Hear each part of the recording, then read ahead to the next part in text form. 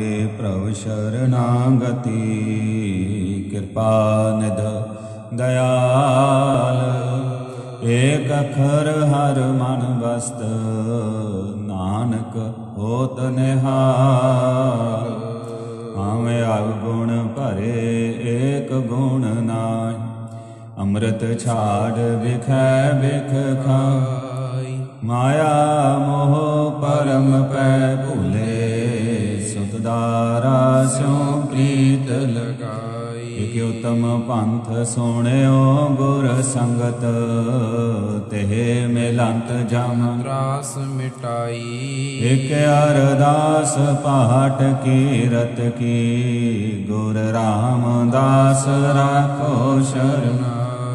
ਇਕ ਅਰਦਾਸ ਪਾਠ ਕੀਰਤ ਕੀ, ਗੁਰ ਰਾਮਦਾਸ ਰਾਖੋ ਸ਼ਰਨਾਈ। ਸਤਨਾਮ। ਧੰਨ ਵਾਹਿਗੁਰੂ ਸਾਹਿਬ ਜੀ। ਸ਼ਲੋਕ ਦੂਜਾ। ਇਹ ਕਨੇਹੀ ਦਾਤ ਤੇ ਜੋ ਪਾਈਐ। ਨਾਨਕ ਸਾ ਕਰਮਾਤ ਸਾਹਿਬ ਤੁਠੈ ਜੋ ਮਿਲੈ। ਵਾਹਿਗੁਰੂ ਜੀ ਕਾ ਖਾਲਸਾ, ਵਾਹਿਗੁਰੂ ਜੀ ਕੀ ਫਤਿਹ। ਜੁਗਹ ਜੁਗ ਅਟਲ, ਸਾਹਿਬ ਸ੍ਰੀ ਗੁਰੂ ਗ੍ਰੰਥ ਸਾਹਿਬ ਜੀ ਮਹਾਰਾਜ। ਸਤਿਗੁਰੂ ਮਹਾਰਾਜ ਜੀ ਦੇ ਅਪਾਰ ਬਖਸ਼ਿਸ਼ ਦੇ ਸਦਕਾ ਸ਼ਾਮਾਂ ਦੇ ਦੀਵਾਨਾਂ ਦੀ ਪ੍ਰਾਰੰਭਤਾ ਹੋ ਰਹੀ ਹੈ। ਤੋ ਚੱਲ ਵਾਰ ਗੁਰੂ ਸ਼ਬਦ ਵਿਚਾਰ ਅਨੁਸਾਰ, ਆਸਾ ਕੀ ਬਾਣੀ ਦੀ ਵਿਚਾਰ ਆਪ ਸੰਗਤਾਂ ਸਰਵਣ ਕਰਦੇ ਆ ਰਹੇ ਹੋ। ਅੱਜ ਦੀ ਵਿਚਾਰ, ਆਸਾ ਕੀ ਵਾਰ ਦੀਆਂ ਅਖੀਰ ਦੀਆਂ ਪੌੜੀਆਂ 23 ਅਤੇ 24 ਨੰਬਰ ਪੌੜੀ ਦੀ ਵਿਚਾਰ ਕੀਤੀ ਜਾਵੇਗੀ। ਤੇ 23 ਅਤੇ 24 ਨੰਬਰ ਪੌੜੀ ਦੇ ਨਾਲ ਜੋ ਸ਼ਲੋਕ ਗੁਰੂ ਸਾਹਿਬ ਨੇ ਬਖਸ਼ਿਸ਼ ਕੀਤੇ ਹਨ, ਉਹਨਾਂ ਦੀ ਵਿਚਾਰ ਕੀਤੀ ਜਾਣੀ ਹੈ। ਤੋਂ ਵਿਚਾਰ ਦੀ ਪ੍ਰਾਰੰਭਤਾ ਕਰਦੇ ਹੋਏ ਸਮੂਹ ਸੰਗਤ ਮਾਈ ਭਾਈ ਆਪਣੀ ਸੁਰਤ ਬਿਰਤੀ ਦੀ ਇਕਾਗਰਤਾ ਦੇ ਲਈ ਆਓ ਪਿਆਰ ਦੇ ਨਾਲ ਉਚਾਰਨ ਕਰੋ ਜੀ। ਸਤਨਾਮ ਸ੍ਰੀ ਵਾਹਿਗੁਰੂ ਜੀ। ਸਤਨਾਮ ਸ੍ਰੀ ਵਾਹਿਗੁਰੂ ਸਾਹਿਬ ਜੀ। ਸ਼ਲੋਕ ਮਹਿਲਾ ਦੂਜਾ। ਏਕ ਨੇਹੀ ਦਾਤ ਆਪਸ 'ਤੇ ਜੋ ਪਾਈਐ। ਨਾਨਕ ਸਾ ਕਰਮਾਤ ਸਾਹਿਬ ਤੁਠੈ ਜੋ ਮਿਲੈ। ਇਹ ਸ਼ਲੋਕ ਗ੍ਰੀਨਵਾਜ ਗੁਰੂ ਅੰਗਦ ਸਾਹਿਬ ਮਹਾਰਾਜ ਜੀ ਦੀ ਰਚਨਾ ਤੋਂ ਉਚਾਰਨ ਕੀਤਾ ਹੋਇਆ ਸ਼ਲੋਕ ਹੈ, ਸ਼ਲੋਕ ਮਹਿਲਾ ਦੂਜਾ। ਗੁਰੂ ਅੰਗਦ ਦੇਵ ਮਹਾਰਾਜ ਜੀ ਇਹਨਾਂ ਸ਼ਲੋਕਾਂ ਦੇ ਵਿੱਚ ਬਖਸ਼ਿਸ਼ ਕਰਦੇ ਹਨ, ਜੋ ਪਿਛਲੀ ਪੌੜੀ ਵਿੱਚ ਆਪ ਜੀ ਨੇ ਸਰਵਣ ਕੀਤਾ ਸੀ, ਪਿਛਲੀ 22 ਨੰਬਰ ਪੌੜੀ। 22 ਨੰਬਰ ਪੌੜੀ ਦੇ ਨਾਲ ਪੰਜ ਸ਼ਲੋਕ ਗੁਰੂ ਅੰਗਦ ਦੇ ਮਹਾਰਾਜ ਜੀ ਦੇ ਆਏ ਹਨ। ਤੋ ਉਹਨਾਂ ਸਾਰੇ ਹੀ ਸ਼ਲੋਕਾਂ ਦੇ ਵਿੱਚ ਸ੍ਰੀ ਗੁਰੂ ਅੰਗਦ ਦੇਵ ਮਹਾਰਾਜ ਜੀ ਨੇ ਬਖਸ਼ਿਸ਼ ਕੀਤੀ ਕਿ ਸੇਵਕ ਦਾ ਜੀਵਨ ਕੈਸਾ ਹੁੰਦਾ ਹੈ? ਜਿਸ ਨੇ ਆਪਣੇ ਮਾਲਕ ਦੇ, ਸਤਿਗੁਰੂ ਦੇ ਦਰ ਤੇ ਪ੍ਰਵਾਨ ਹੋਣਾ ਉਹਦਾ ਜੀਵਨ ਕਿਹੋ ਜਿਹਾ ਹੁੰਦਾ ਹੈ? ਉਹ ਕਿਹੋ ਜਿਹਾ ਆਪਣਾ ਜੀਵਨ ਬਣਾ ਕੇ ਰੱਖਦਾ ਹੈ? ਇਸ ਗੱਲ ਨੂੰ ਸਤਿਗੁਰੂ ਜੀ ਨੇ ਬਾਣੀ 'ਚ ਵਾਰੀ-ਵਾਰੀ ਬਿਆਨ ਕੀਤਾ ਹੈ। ਤੋ ਇਸ ਸ਼ਲੋਕ ਦੇ ਵਿੱਚ ਵੀ ਗੁਰੂ ਸਾਹਿਬ ਜੀ ਇਹੀ ਗੱਲ ਦੱਸ ਰਹੇ ਹਨ ਕਿ ਕੁਝ ਲੋਕੀ ਜਿਹੜੇ ਧਰਮ ਦੇ ਰਸਤੇ ਤੇ ਚੱਲਦੇ ਹਨ, ਉਹ ਕਹਿੰਦੇ ਹਨ ਕਿ ਅਸੀਂ ਆਪਣੀ ਮਿਹਨਤ ਦੇ ਨਾਲ ਪ੍ਰਾਪਤ ਕੀਤਾ ਹੈ। ਪਰ ਧਰਮ ਦੇ ਰਸਤੇ ਦੇ ਉੱਪਰ ਚੱਲਦੇ ਹੋਏ ਜੇ ਆਪਣੇ ਮਾਲਕ ਦੀ ਖੁਸ਼ੀ ਲੈਣੀ ਹੈ, ਤਾਂ ਉੱਥੇ ਆਪਣੇ ਮਨ ਦੇ ਭਾਵ ਨੂੰ ਕਿਹੋ ਜਿਹਾ ਰੱਖਣਾ ਦੁਨਿਆਵੀ ਤੌਰ ਤੇ ਵੀ ਇਹ ਗੱਲ ਸਹੀ ਸਾਬਤ ਹੁੰਦੀ ਹੈ। ਮਿਹਨਤ ਵੀ ਕਰਨੀ ਹੈ, ਮਿਹਨਤ ਤੋਂ ਜੀ ਨਹੀਂ ਚਰਾਉਣਾ ਹੈ। ਕਿਉਂਕਿ ਗੁਰਬਾਣੀ 'ਚ ਸੱਚੇ ਪਾਤਸ਼ਾਹ ਜੀ ਦਾ ਬਚਨ ਹੈ, ਐ ਰਖਵਾਦ ਨਾ ਕੀਜੈ ਰੇ ਮਨ, ਸੋ ਕ੍ਰਿਤ ਕਰ ਕਰ ਲੀਜੈ ਰੇ ਮਨ।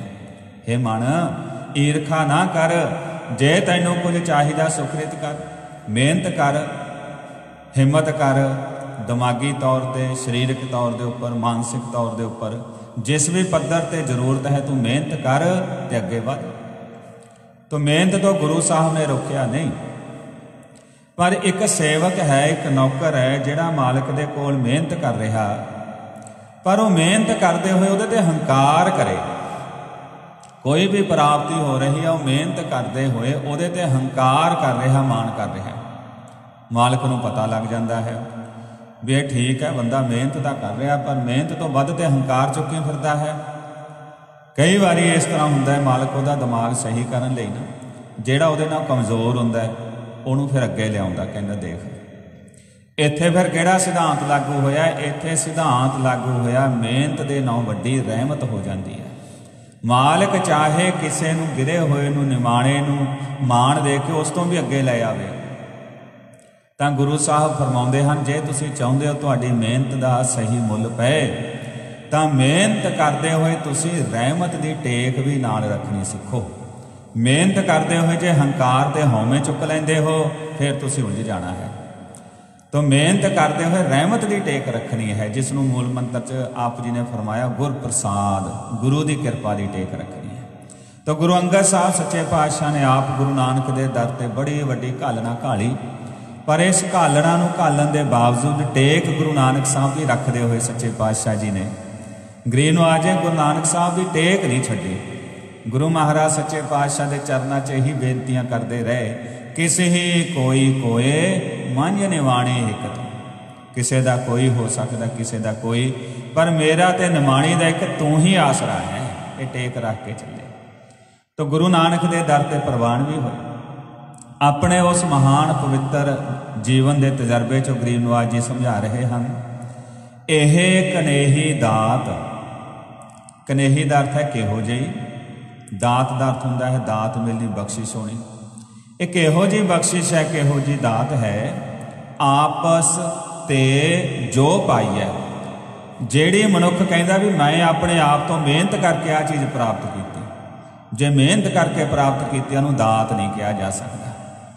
ਦਾਤ ਕੀ ਹੁੰਦੀ ਹੈ? ਨਾਨਕ ਸਾ ਕਰਮਾਤ। ਕਰਮਾਤ। ਇੱਥੇ ਕਰਾਮਾਤ ਸ਼ਬਦ ਨਹੀਂ ਲਿਖਿਆ ਹੈ। ਕਰਮਾਤ। ਕਰਮਾਤ ਦਾ ਅਰਥ ਕਰਾਮਾਤ, ਬਖਸ਼ਿਸ਼। ਕਰਾਮਾਤ ਉਹ ਗੱਲ ਨੂੰ ਆਮ ਤੌਰ ਤੇ ਆਪਾਂ ਕਹਿੰਦੇ ਆ ਜਿਹੜੀ ਇਦਾਂ ਲੱਗੇ ਵੀ ਨਹੀਂ ਹੋ ਸਕਦਾ, ਪਰ ਹੋ ਜਾਏ, ਅਸੰਭਵ ਤੋਂ ਸੰਭਵ ਹੋ ਜਾਏ। ਹੈਰਾਨੀਜਨਕ ਕੌਤਕ। ਵੀ ਕਰਾਮਾਤ ਤਾਂ ਇਹ ਹੈ, ਬਖਸ਼ਿਸ਼ ਤਾਂ ਇਹਨੂੰ ਕਹਿੰਦੇ ਹਨ, ਸਾਹਿਬ ਤੁਠੈ ਮਿਲੇ, ਜੋ ਸਾਹਿਬ ਤੋਂ ਤਰੁੱਠ ਕੇ ਮਿਲ ਜਾਏ। ਉਹਦੀ ਬਖਸ਼ਿਸ਼ ਵਿੱਚ ਮਿਲ ਜਾਏ, ਭਾਵ ਉਹਦੀ ਬਖਸ਼ਿਸ਼ ਵੱਡੀ ਚੀਜ਼ ਹੈ। ਮਿਹਨਤ ਕਰਦੇ ਹੋਏ ਟੇਕ ਉਹਦੀ ਬਖਸ਼ਿਸ਼ ਦੀ ਰੱਖਣੀ ਹੈ, ਜੇ ਉਹ ਮਾਲਕ ਦੀਆਂ ਖੁਸ਼ੀਆਂ ਲੈਣੀਆਂ ਹਨ। ਤਾਂ ਇਸ ਤਰ੍ਹਾਂ ਗੁਰੂ ਅੰਗਦ ਸਾਹਿਬ ਜੀ ਆਪਣੇ ਮਹਾਨ, ਪਵਿੱਤਰ ਜੀਵਨ ਦੇ ਵਿੱਚੋਂ ਕਿਵੇਂ ਸੇਵਕ ਬਣ ਕੇ ਪ੍ਰਵਾਨ ਹੋਈਦਾ ਹੈ, ਮਿਹਨਤ ਦੇ ਨਾਲ ਨਾਲ ਉਹਦੀ ਰਹਿਮਤ ਦਾ ਪਾਤਰ ਕਿਵੇਂ ਬਣਨਾ ਹੈ, ਇਹ ਆਪ ਜੀ ਇਸ ਲੋਕ ਵਿੱਚ ਸਮਝਾ ਰਹੇ ਹਨ। ਮਹਲਾ ਦੂਜਾ। ਚੱਕਰੀ। ਜਿਤ ਭਾਉ ਖਸਮ ਨਾ ਜਾਏ। ਨਾਨਕ ਸੇਵਕ ਕਾਂਢੀਐ। ਜੇ ਸੇਤੀ ਖਸਮ ਸਮਾਏ ਮਹਿਲਾ ਦੂਜਾ, ਇਹ ਸ਼ਲੋਕ ਵੀ ਦੂਜੇ ਪਾਤਸ਼ਾਹ ਗੁਰੂ ਅੰਗਦ ਸਾਹਿਬ ਜੀ ਦੀ ਰਚਨਾ ਤੋਂ ਉਚਾਰਨ ਕੀਤਾ ਹੋਇਆ ਹੈ। ਆਪ ਜੀ ਹੁਣ ਇੱਥੇ ਦੱਸ ਰਹੇ ਹਨ ਕਿ ਸੇਵਾ ਕਰਦੇ ਹੋ। ਮਨ ਦੇ ਵਿੱਚੋਂ ਭਉ ਨੂੰ ਡਰ ਨੂੰ ਦੂਰ ਕਰਨਾ ਹੈ। ਹੁਣ ਇਹ ਗੱਲ ਨੂੰ ਸਮਝਣਾ ਹੈ। ਪਿਛਲੇ ਦਿਨ ਵੀ ਵਿਚਾਰ ਹੋਈ ਸੀ। ਭੈ ਦੇ ਗੁਰਬਾਣੀ ਵਿੱਚ ਕਈ ਰੂਪ ਆਏ ਹਨ। ਇੱਕ ਰੂਪ ਹੁੰਦਾ ਹੈ ਅਗਿਆਨਤਾ ਦੇ ਵਸ। ਅਗਿਆਨਤਾ ਦੇ ਵਸ ਡਰਦੇ ਰਹਿਣਾ ਹਾਲਾਂਕਿ ਜੋ ਰਿਐਲਿਟੀ ਨਹੀਂ ਹੈ। ਕੋਈ ਭੂਤਾਂ ਪ੍ਰੇਤਾਂ ਦਾ ਵਹਿਮ ਪਾ ਲੈਂਦਾ ਮਨ ਵਿੱਚ। ਕੋਈ ਚੰਗੇ ਮਾੜੇ ਦਿਨਾਂ ਦਾ ਵਹਿਮ ਪਾ ਲੈਂਦਾ ਹੈ। ਡਰ ਪਾ ਲੈਂਦਾ ਇਦਾਂ ਨਾ ਹੋ ਜਾਏ ਉਦਾਂ ਨਾ ਹੋ ਜਾਏ। ਇੱਕ ਤਾਂ ਇਹ ਡਰ ਦਾ ਪੱਧਰ ਹੈ। ਇੱਕ ਡਰ ਦਾ ਪੱਧਰ ਇਹ ਹੁੰਦਾ ਵੀ ਮਾਲਕ ਦੇ ਕੋਲ, ਕਿਸੇ ਦੇ ਕੋਲ ਨੌਕਰੀ ਚਾਕਰੀ ਕਰਦੇ ਹੋਏ ਇਹ ਡਰ ਬਣਿਆ ਰਹੇ ਕਿ ਮੇਰੀ ਇੱਥੇ ਕੋਈ ਗਲਤੀ ਨਾ ਹੋ ਜਾਏ, ਮੈਨੂੰ ਨੌਕਰੀ ਤੋਂ ਨਾ ਕੱਢ ਦੇ, ਕੁਝ ਹੋਰ ਨਾ ਹੋ ਜਾਏ। ਇੱਕ ਡਰ ਦਾ ਇਹ ਵੀ ਪੱਧਰ ਹੈ, ਇਹ ਫਿਜ਼ੀਕਲੀ ਸਹੀ ਗੱਲ ਹੈ, ਕਿਉਂਕਿ ਉਹ ਤਾਂ ਮਾਨਸਿਕ ਡਰ ਚ ਆ ਗਏ ਦੂਜੇ ਤਾਂ। ਇਹ ਫਿਜ਼ੀਕਲੀ ਆ ਗਿਆ ਕਿਉਂਕਿ ਜੇ ਨੌਕਰੀ ਤੋਂ ਜੌਬ ਤੋਂ ਕੱਢ ਦਿੱਤਾ ਗਿਆ ਤੇ ਫਿਰ ਅੱਗੇ ਰੋਜ਼ਗਾਰ ਦਾ ਕੀ ਬਣੇਗਾ, ਕਿਸ ਤਰ੍ਹਾਂ ਸਰਵਾਈਵ ਕਰੇਗਾ ਬੰਦਾ। ਤੋ ਹੁਣ ਇਹ ਕਿਹ ਡਰ ਹੋ ਗਿਆ? ਤੋ ਇਦਾਂ ਹੀ ਇਹ ਡਰਾਂ ਦੇ ਵਿੱਚ ਗੁਰੂ ਸਾਹਿਬ ਜੀ ਦੇ ਦਰ ਤੇ ਇੱਕ ਪ੍ਰਵਾਨ ਹੋਣਾ ਸਿੱਖ ਨੇ, ਗੁਰੂ ਦੇ ਦਰ ਤੇ ਪ੍ਰਵਾਨ ਹੋਣਾ। ਕਿਤੇ ਮੈਂ ਆਪਣੇ ਸਤਿਗੁਰੂ ਦੀਆਂ ਬਖਸ਼ਿਸ਼ਾਂ ਤੋਂ ਵਾਂਝਾ ਨਾ ਰਹਿ ਜਾਵਾਂ। ਇਹ ਵੀ ਮਨ ਵਿੱਚ ਸਿੱਖਦੇ ਆਉਂਦਾ ਹੈ। ਤੋ ਬਹੁਤ ਪੱਧਰ ਦੇ ਉੱਪਰ ਡਰਾਂ ਨੂੰ ਮਨੁੱਖ ਆਪਣੇ ਜੀਵਨ 'ਚ ਵਿੱਚ ਹੰਡਾਉਂਦਾ ਹੈ। ਇੱਥੇ ਗੱਲ ਚੱਲ ਰਹੀ ਹੈ ਮਾਲਕ ਦੀ ਤੇ ਸੇਵਕ ਦੀ। ਹੁਣ ਇੱਕ ਸੇਵਕ ਹੈ, ਉਹਨੇ ਮਨ ਦੇ ਵਿੱਚ ਮਾਲਕ ਦਾ ਭਾਉ ਤਾਂ ਰੱਖਣਾ ਹੈ। ਪਰ ਉਹ ਭੈ ਨੂੰ, ਉਹ ਡਰ ਨੂੰ ਕਿਸ ਰੂਪ ਦੇ ਵਿੱਚ ਰੱਖਣਾ ਗੁਰੂ ਸਾਹਿਬ ਜੀ ਇਹ ਦੱਸਦੇ ਆ। ਗੁਰਬਾਣੀ ਦੇ ਵਿੱਚ ਜਿਹੜਾ ਭਾਉ ਪ੍ਰਵਾਨ ਕੀਤਾ ਉਹ ਹੈਗਾ ਨਿਰਮਲ ਭਾਉ। ਹਰ ਦੂਜੜੀ ਲਾਮ ਸਤਿਗੁਰ ਪੁਰਖ ਮਿਲਾਇਆ ਬਲਰਾਮ ਜੀਓ। ਨਿਰਭਉ ਭੈ ਮਨ ਹੋਏ ਹਉ ਮੈਂ ਮੈਲ ਗਵਾਇਆ ਬਲਰਾਮ ਜੀਓ। ਨਿਰਮਲ ਭਾਉ ਪਾਇਆ, ਹਰ ਗੁਣ ਗਾਇਆ, ਹਰ ਵੇਖੈ RAM ਹਦੂਰੇ ਨਿਰਮਲ ਭਾਉ ਉਹ ਡਰ ਜਿਹੜਾ ਪਵਿੱਤਰਤਾ ਸ਼ੁੱਧਤਾ ਅੰਦਰ ਰੱਖਦਾ ਹੈ। ਅਦਬ ਤੇ ਸਤਕਾਰ ਵਾਲਾ ਡਰ। ਇੱਕ ਡਰ ਹੁੰਦਾ ਹੈ ਮਾਲਕ ਦੇ ਡੰਡੇ ਦਾ ਡਰ। ਹੁਣ ਡੰਡੇ ਦੇ ਨਾਲ ਤਾਂ ਹਰ ਕੋਈ ਕੰਮ ਕਰ ਦਿੰਦਾ ਹੈ। ਡੰਡੇ ਦੇ ਡਰ ਤੋਂ ਤਾਂ ਪਸ਼ੂ ਤੋਂ ਵੀ ਕੰਮ ਕਰਾ ਲਈਦਾ ਤੇ ਨੌਕਰੀ ਤੋਂ ਕੱਢ ਦੇਣਾ ਹੈ ਜਾਂ ਕੋਈ ਹੋਰ ਕਿਸੇ ਤਰ੍ਹਾਂ ਦੀ ਪਨਿਸ਼ਮੈਂਟ ਦੇ ਦੇਣੀ ਹੈ ਜਾਂ ਕਿਸੇ ਵੀ ਤਰ੍ਹਾਂ ਦਾ ਕੋਈ ਹੋਰ, ਕਿਉਂਕਿ ਮਾਲਕ ਕੋਲੇ ਪਾਵਰ ਹੈ। ਤੇ ਉਸ ਚੀਜ਼ ਤੋਂ ਡਰਦੇ ਹੋਏ ਕੰਮ ਕਰਨਾ ਉਹ ਡਰਦੇ ਹੋਏ ਕਰਮ ਜਿਹੜਾ ਬੰਦਾ ਕਰਦਾ ਹੈ, ਉਹਦੀ ਜੌਬ ਉਹਦਾ ਕੰਮ ਉਸ ਤਰੀਕੇ ਦਾ ਹੋ ਹੀ ਨਹੀਂ ਸਕਦਾ ਹੈ। ਉਹ ਜਿਹੜਾ ਡਰ ਦੇ ਵਿੱਚ ਚੱਲ ਰਿਹਾ ਤੋ ਇਦਾਂ ਹੀ ਗੁਰੂ ਦੇ ਵੀ ਡਰ ਦੇ ਵਿੱਚ ਰਹਿਣਾ ਜੀ ਇਦਾਂ ਨਾ ਹੋ ਜਾਏ ਉਦਾਂ ਨਾ ਹੋ ਜਾਏ ਆ ਨਾ ਹੋ ਜਾਏ ਮਰਿਆਦਾ ਦੇ ਇਸ ਤਰ੍ਹਾਂ, ਉਸ ਤਰ੍ਹਾਂ। ਤੋ ਇੱਕ ਇਹ ਚੀਜ਼ ਹੈ ਡਰ ਪਾ ਲੈਣਾ, ਪਰ ਇੱਕ ਦੂਜੀ ਚੀਜ਼ ਹੁੰਦੀ ਹੈ ਨਿਰਮਲ ਭਾਵ ਦੇ ਵਿੱਚ ਰਹਿਣਾ, ਪਿਆਰ ਦੇ ਵਿੱਚ ਰਹਿਣਾ। ਇੱਕ ਉਹਦੇ 'ਚ ਨਿਰਮਲ ਭਾਵ ਹੈ, ਇੱਕ ਪਿਆਰ ਹੈ। ਜਿਵੇਂ ਪਤੀ ਤੇ ਪਤਨੀ ਦਾ ਪਿਆਰ ਹੈ। ਪਤਨੀ ਘਰ ਦੇ ਵਿੱਚ ਪ੍ਰਸ਼ਾਦਾ ਪਾਣੀ ਬਣਾਉਂਦੀ ਹੈ ਵੀ ਪਤੀ ਨੇ ਕੰਮ ਕਰਕੇ ਆਉਣਾ ਹੈ, ਆਪਣੀ ਕਿਰਤ ਕਮਾਈ ਕਰਕੇ ਆਉਣਾ ਜਦੋਂ ਆਵੇ ਤਾਂ ਉਹਦੇ ਲਈ ਮੈਂ ਪ੍ਰਸ਼ਾਦਾ ਪਾਣੀ ਜਾਂ ਜੋ ਵੀ ਸਮਾਂ ਉਹਦੇ ਮੁਤਾਬਕ ਚਾਹ ਪਾਣੀ ਤਿਆਰ ਰੱਖਾਂ। ਇੱਕ ਆਦਬ ਹੈ, ਇੱਕ ਸਤਕਾਰ ਹੈ। ਪਤੀ ਦੇ ਮਨ 'ਚ ਪਤਨੀ ਦਾ ਸਤਕਾਰ ਹੈ ਕਿ ਇਹ ਮੇਰੀ ਪਤਨੀ, ਮੇਰੀ ਜੀਵਨ ਸਾਥੀ ਹੈ, ਇਹਦੀਆਂ ਲੋੜਾਂ ਦਾ ਮੈਂ ਖਿਆਲ ਰੱਖਣਾ ਹੈ। ਜੋ ਇਹੋ ਜੇ ਇਹਨੇ ਮੇਰੇ ਤੇ ਭਰੋਸਾ ਰੱਖ ਕੇ ਇਹ ਰਹਿ ਰਹੀ ਹੈ, ਇਹਦੇ ਉਹ ਭਰੋਸੇ ਤੇ ਮੈਂ ਖਰਾ ਉਤਰਨ ਦਾ ਯਤਨ ਕਰਾਂ। ਅਦਬ ਵਾਲਾ ਸਤਕਾਰ, ਅਦਬ ਵਾਲਾ ਡਰ। ਬੱਚਿਆਂ ਦੇ ਮਨ ਵਿੱਚ ਡਰ ਹੁੰਦਾ ਹੈ ਮਾਤਾ ਪਿਤਾ ਦਾ ਅਦਬ ਤੇ ਸਤਕਾਰ ਵਾਲਾ ਡਰ। ਮੈਂ ਇੱਕ ਕਹਾਣੀ ਪੜ੍ਹ ਰਿਹਾ ਸੀ ਦਲੀਪ ਕੌਰ ਟਿਵਾਣਾ ਦੀ। ਉਹਦੇ ਵਿੱਚ ਉਹਨੇ ਲਿਖਿਆ ਕਿ ਬਹੁਤ ਸਾਲ ਹੋ ਗਏ ਸਨ ਸ਼ਹਿਰ ਦੇ ਵਿੱਚ ਰਹਿੰਦੇ ਹੋਇਆਂ ਨੂੰ, ਇੱਕ ਪਰਿਵਾਰ ਨੂੰ। ਤੇ ਉਹ ਪਰਿਵਾਰ ਦੇ ਘਰ ਦੇ ਵਿੱਚ ਇੱਕ ਦਿਨ ਬੁੱਢਾ ਬਜ਼ੁਰਗ ਤੇ ਇੱਕ ਮਾਈ ਆਏ। ਘਰ ਦੇ ਵਿੱਚ ਬੱਚੇ ਜਿਨ੍ਹਾਂ ਤੇ ਆਪਣੇ ਮਾਤਾ ਪਿਤਾ ਦਾ ਪ੍ਰਭਾਵ ਸੀਗਾ, ਬੱਚੇ ਪਿਤਾ ਤੋਂ ਆਮ ਤੌਰ ਤੇ ਥੋੜਾ ਜਿਹਾ ਜ਼ਿਆਦਾ ਡਰਦੇ ਆ, ਮਾਤਾ ਦੇ ਨਾਲ ਥੋੜਾ ਜਿਹਾ ਹੋਰ ਤਰ੍ਹਾਂ ਦਾ ਰਿਲੇਸ਼ਨ ਹੁੰਦਾ ਹੈ। ਤੇ ਉਹਨੇ ਦੇਖਿਆ ਵੀ ਮੇਰਾ ਪਿਤਾ ਘਰ ਦਾ ਸਾਰਾ ਕੰਮ ਕਰਦਾ ਹੈ, ਘਰ ਦੀ ਜ਼ਿੰਮੇਵਾਰੀ ਚੁੱਕਦਾ ਹੈ, ਘਰ ਚਲਾਉਂਦਾ ਹੈ। ਤਾਕਤਵਰ ਹੈ। ਬੱਚੇ, ਛੋਟੇ ਬੱਚੇ ਦੇ ਮਨ 'ਚ ਬਹੁਤ ਆਪਣੇ ਪਿਤਾ ਪ੍ਰਤੀ ਕੋਈ ਇਮੇਜ ਬਣੀ ਹੋਈ ਹੁੰਦੀ ਹੈ। ਪਰ ਜਦੋਂ ਦੇਖਿਆ ਵੀ ਘਰ ਦੇ ਵਿੱਚ ਇੱਕ ਬਜ਼ੁਰਗ ਜਿਹਾ ਆਇਆ, ਬੁੱਢਾ ਜਿਹਾ ਆਇਆ ਕੋਈ, ਮੇਰੇ ਪਿਤਾ ਨੇ ਭੱਜ ਕੇ ਉਹਦੇ ਪੈਰੀ ਹੱਥ ਲਾਏ ਨੇ। ਆਪਣਾ ਸਿਰ ਉਹਦੇ ਅੱਗੇ ਝੁਕਾਇਆ ਤੇ ਪਹਿਲਾਂ ਉਹਨੂੰ ਬਿਠਾਇਆ, ਫੇਰ ਆਪ ਬੈਠਿਆ, ਜਾਂ ਭੱਜ ਕੇ ਪਾਣੀ ਆਦਿਕ ਲੈ ਕੇ ਆਇਆ।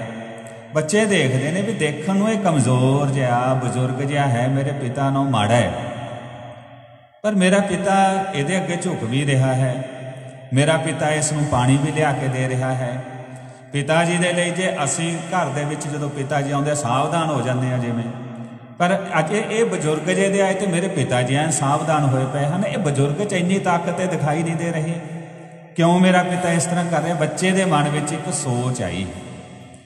ਫਿਰ ਬੱਚੇ ਨੂੰ ਦੱਸਿਆ ਗਿਆ, ਬੱਚੇ ਨੇ ਪੁੱਛਿਆ ਵੀ ਤੁਸੀਂ ਇਦਾਂ ਬੱਚੇ ਨੂੰ ਪਿਤਾ ਜੀ ਦੱਸਦਾ ਕਹਿੰਦਾ ਇਹ ਬੇਟਾ ਜੀ, ਜਿਵੇਂ ਮੈਂ ਤੁਹਾਡਾ ਪਿਤਾ ਜੀ ਹਾਂ, ਇਹ ਅੱਗੇ ਮੇਰੇ ਪਿਤਾ ਜੀ ਹਨ। ਨਗਰ ਤੋਂ, ਪਿੰਡ ਤੋਂ ਆਏ ਨੇ, ਬਹੁਤ ਸਾਲਾਂ ਬਾਅਦ ਮਿਲੇ ਹਾਂ। ਪਿਤਾ ਜੀ, ਤੁਸੀਂ ਇਹਨਾਂ ਦੇ ਅੱਗੇ ਇਦਾਂ ਕਿਉਂ ਝੁਕ ਰਹੇ ਹੋ? ਤੁਸੀਂ ਤਾਂ ਸਭ ਤੋਂ ਤਾਕਤਵਰ ਹੋ, ਬੱਚੇ ਦਾ ਇੱਕ ਬੜਾ ਹੀ ਇਨੋਸੈਂਟ ਜਿਹਾ ਸਵਾਲ ਹੈ, ਜਿਹੋ ਜਿਹਾ ਦਾ ਮਨ ਹੈ। ਤਾਂ ਪਿਤਾ ਦੱਸਦਾ ਹੈ ਕਿ ਬੇਟਾ ਜੀ, ਇੱਥੇ ਜਿਹੜੀ ਤਾਕਤ ਹੈ, ਇਹ ਫਿਜ਼ੀਕਲੀ ਤਾਕਤ ਦੀ ਗੱਲ ਨਹੀਂ ਹੈ। ਇਹ ਸਾਡੇ ਵੱਡੇ ਨੇ, ਸਾਡੇ ਮਨ 'ਚ ਇਹਨਾਂ ਦਾ ਸਤਕਾਰ ਹੈ ਤੇ ਉਹ ਸਤਕਾਰ ਨਾਲ ਅਸੀਂ ਝੁਕੇ ਹਾਂ। ਤੇ ਇੱਥੇ ਹੁਣ ਡਰ ਨਾਲ ਨਹੀਂ ਝੁਕਿਆ ਜਾ ਰਿਹਾ, ਡਰਾਵੇ ਨਾਲ ਨਹੀਂ ਝੁਕਿਆ ਜਾ ਰਿਹਾ, ਉਹ ਸ਼ਖਸੀਅਤ ਦੇ ਸਤਕਾਰ ਕਰਕੇ ਝੁਕਿਆ ਜਾ ਰਿਹਾ ਹੈ। ਉਹਨੂੰ ਕਹਿੰਦੇ ਨੇ ਨਿਰਮਲ ਭਾਵ। ਸ੍ਰੀ ਗੁਰੂ ਗ੍ਰੰਥ ਸਾਹਿਬ ਮਹਾਰਾਜ ਜੀ ਦੇ ਅੱਗੇ ਜਦੋਂ ਆਪਾਂ ਝੁਕਦੇ ਹਾਂ, ਮੱਥਾ ਟੇਕਦੇ ਹਾਂ, ਉਹ ਮਹਾਰਾਜ ਸੱਚੇ ਪਾਤਸ਼ਾਹ ਜੀ ਦੀ ਉਹ ਸ਼ਖਸੀਅਤ ਹੈ, ਉਹ ਸ਼ਬਦ ਹੈ, ਉਹ ਬਾਣੀ ਹੈ। ਜਿਸ ਬਾਣੀ ਦੇ ਕਰਕੇ ਗੁਰੂ ਸਾਹਿਬ ਨੂੰ ਸ਼ੁੱਧਤਾ, ਪਵਿੱਤਰਤਾ ਰੱਖਣ ਲਈ ਆਪਣੇ ਆਪ ਨੂੰ ਤੱਤੀਆਂ ਤਵੀਆਂ ਤੇ ਬਿਠਾਉਣਾ ਪੈ ਗਿਆ।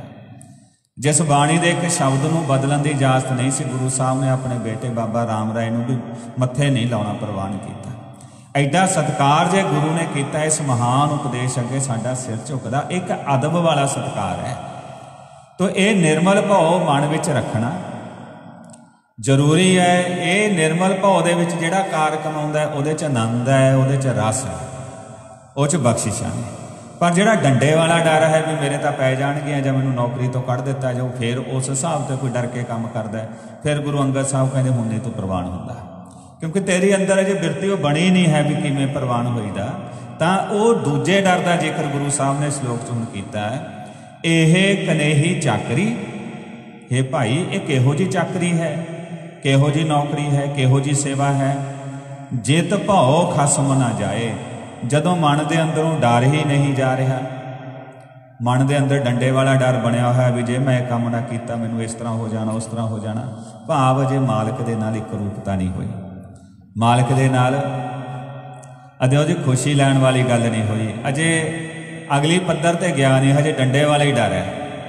ਤਾਂ ਆਪ ਜੀ ਫਰਮਾਉਂਦੇ ਨੇ ਵੀ ਇਹ ਫਿਰ ਚਾਕਰੀ ਪ੍ਰਵਾਨ ਨਹੀਂ ਹੋਣੀ, ਮਿੱਤਰਾ, ਤੂੰ ਥੋੜਾ ਜਿਹਾ ਆਪਣੇ ਆਪ ਨੂੰ ਉੱਚਾ ਚੱਕ। ਨਾਨਕ ਸੇਵਕ ਕਾਂਢੀ ਹੈ। हे ਨਾਨਕ, ਅਸਲ ਸੇਵਕ ਉਹ ਹੀ ਕਿਹਾ ਜਾ ਸਕਦਾ ਹੈ। ਕਾਂਢੀਆ ਸ਼ਬਦ ਇੱਕ ਦਿਨ ਪਹਿਲਾਂ ਵੀ ਆਇਆ ਸੀ। ਰਹਿ ਰਾਸ ਦੇ ਬਾਅਦ ਜਿਹੜੇ ਆਪਾਂ ਸ਼ਬਦ ਪੜ੍ਹਦੇ ਹਾਂ, ਰਹਿ ਰਾਸ ਦੇ ਅਖੀਰ ਦੇ ਵਿੱਚ, ਉੱਥੇ ਵੀ ਇਹ ਸ਼ਬਦ ਰੋਜ਼ਾਨਾ ਪਾਠ ਵਿੱਚ ਆਉਂਦਾ ਹੈ, ਜਗ ਮਹਿ ਉੱਤਮ ਕਾਂਢੀ ਹੈ, ਬਿਰਲੇ ਕੇਈ ਕੇ। ਕਾਂਢੀਏ ਦਾ ਅਰਥ ਕਹੇ ਜਾਂਦੇ ਹਨ। ਕਾਢੀਏ ਜੇ ਪੜਾਂਗੇ, ਕਾਢੀਏ ਦਾ ਅਰਥ ਹੈ ਕੱਢ ਲੈਣਾ। ਸੰਸਾਰ ਸਮੁੰਦਰ ਚੋਂ ਕੱਢ ਲਓ ਮਹਾਰਾਜ, ਸੰਸਾਰ ਸਾਗਰ ਤੇ ਕੱਢਦੇ ਹਾਥੀ, ਆਪਣੇ ਹੱਥੀਂ ਕੱਢ ਲੈ ਸਾਨੂੰ।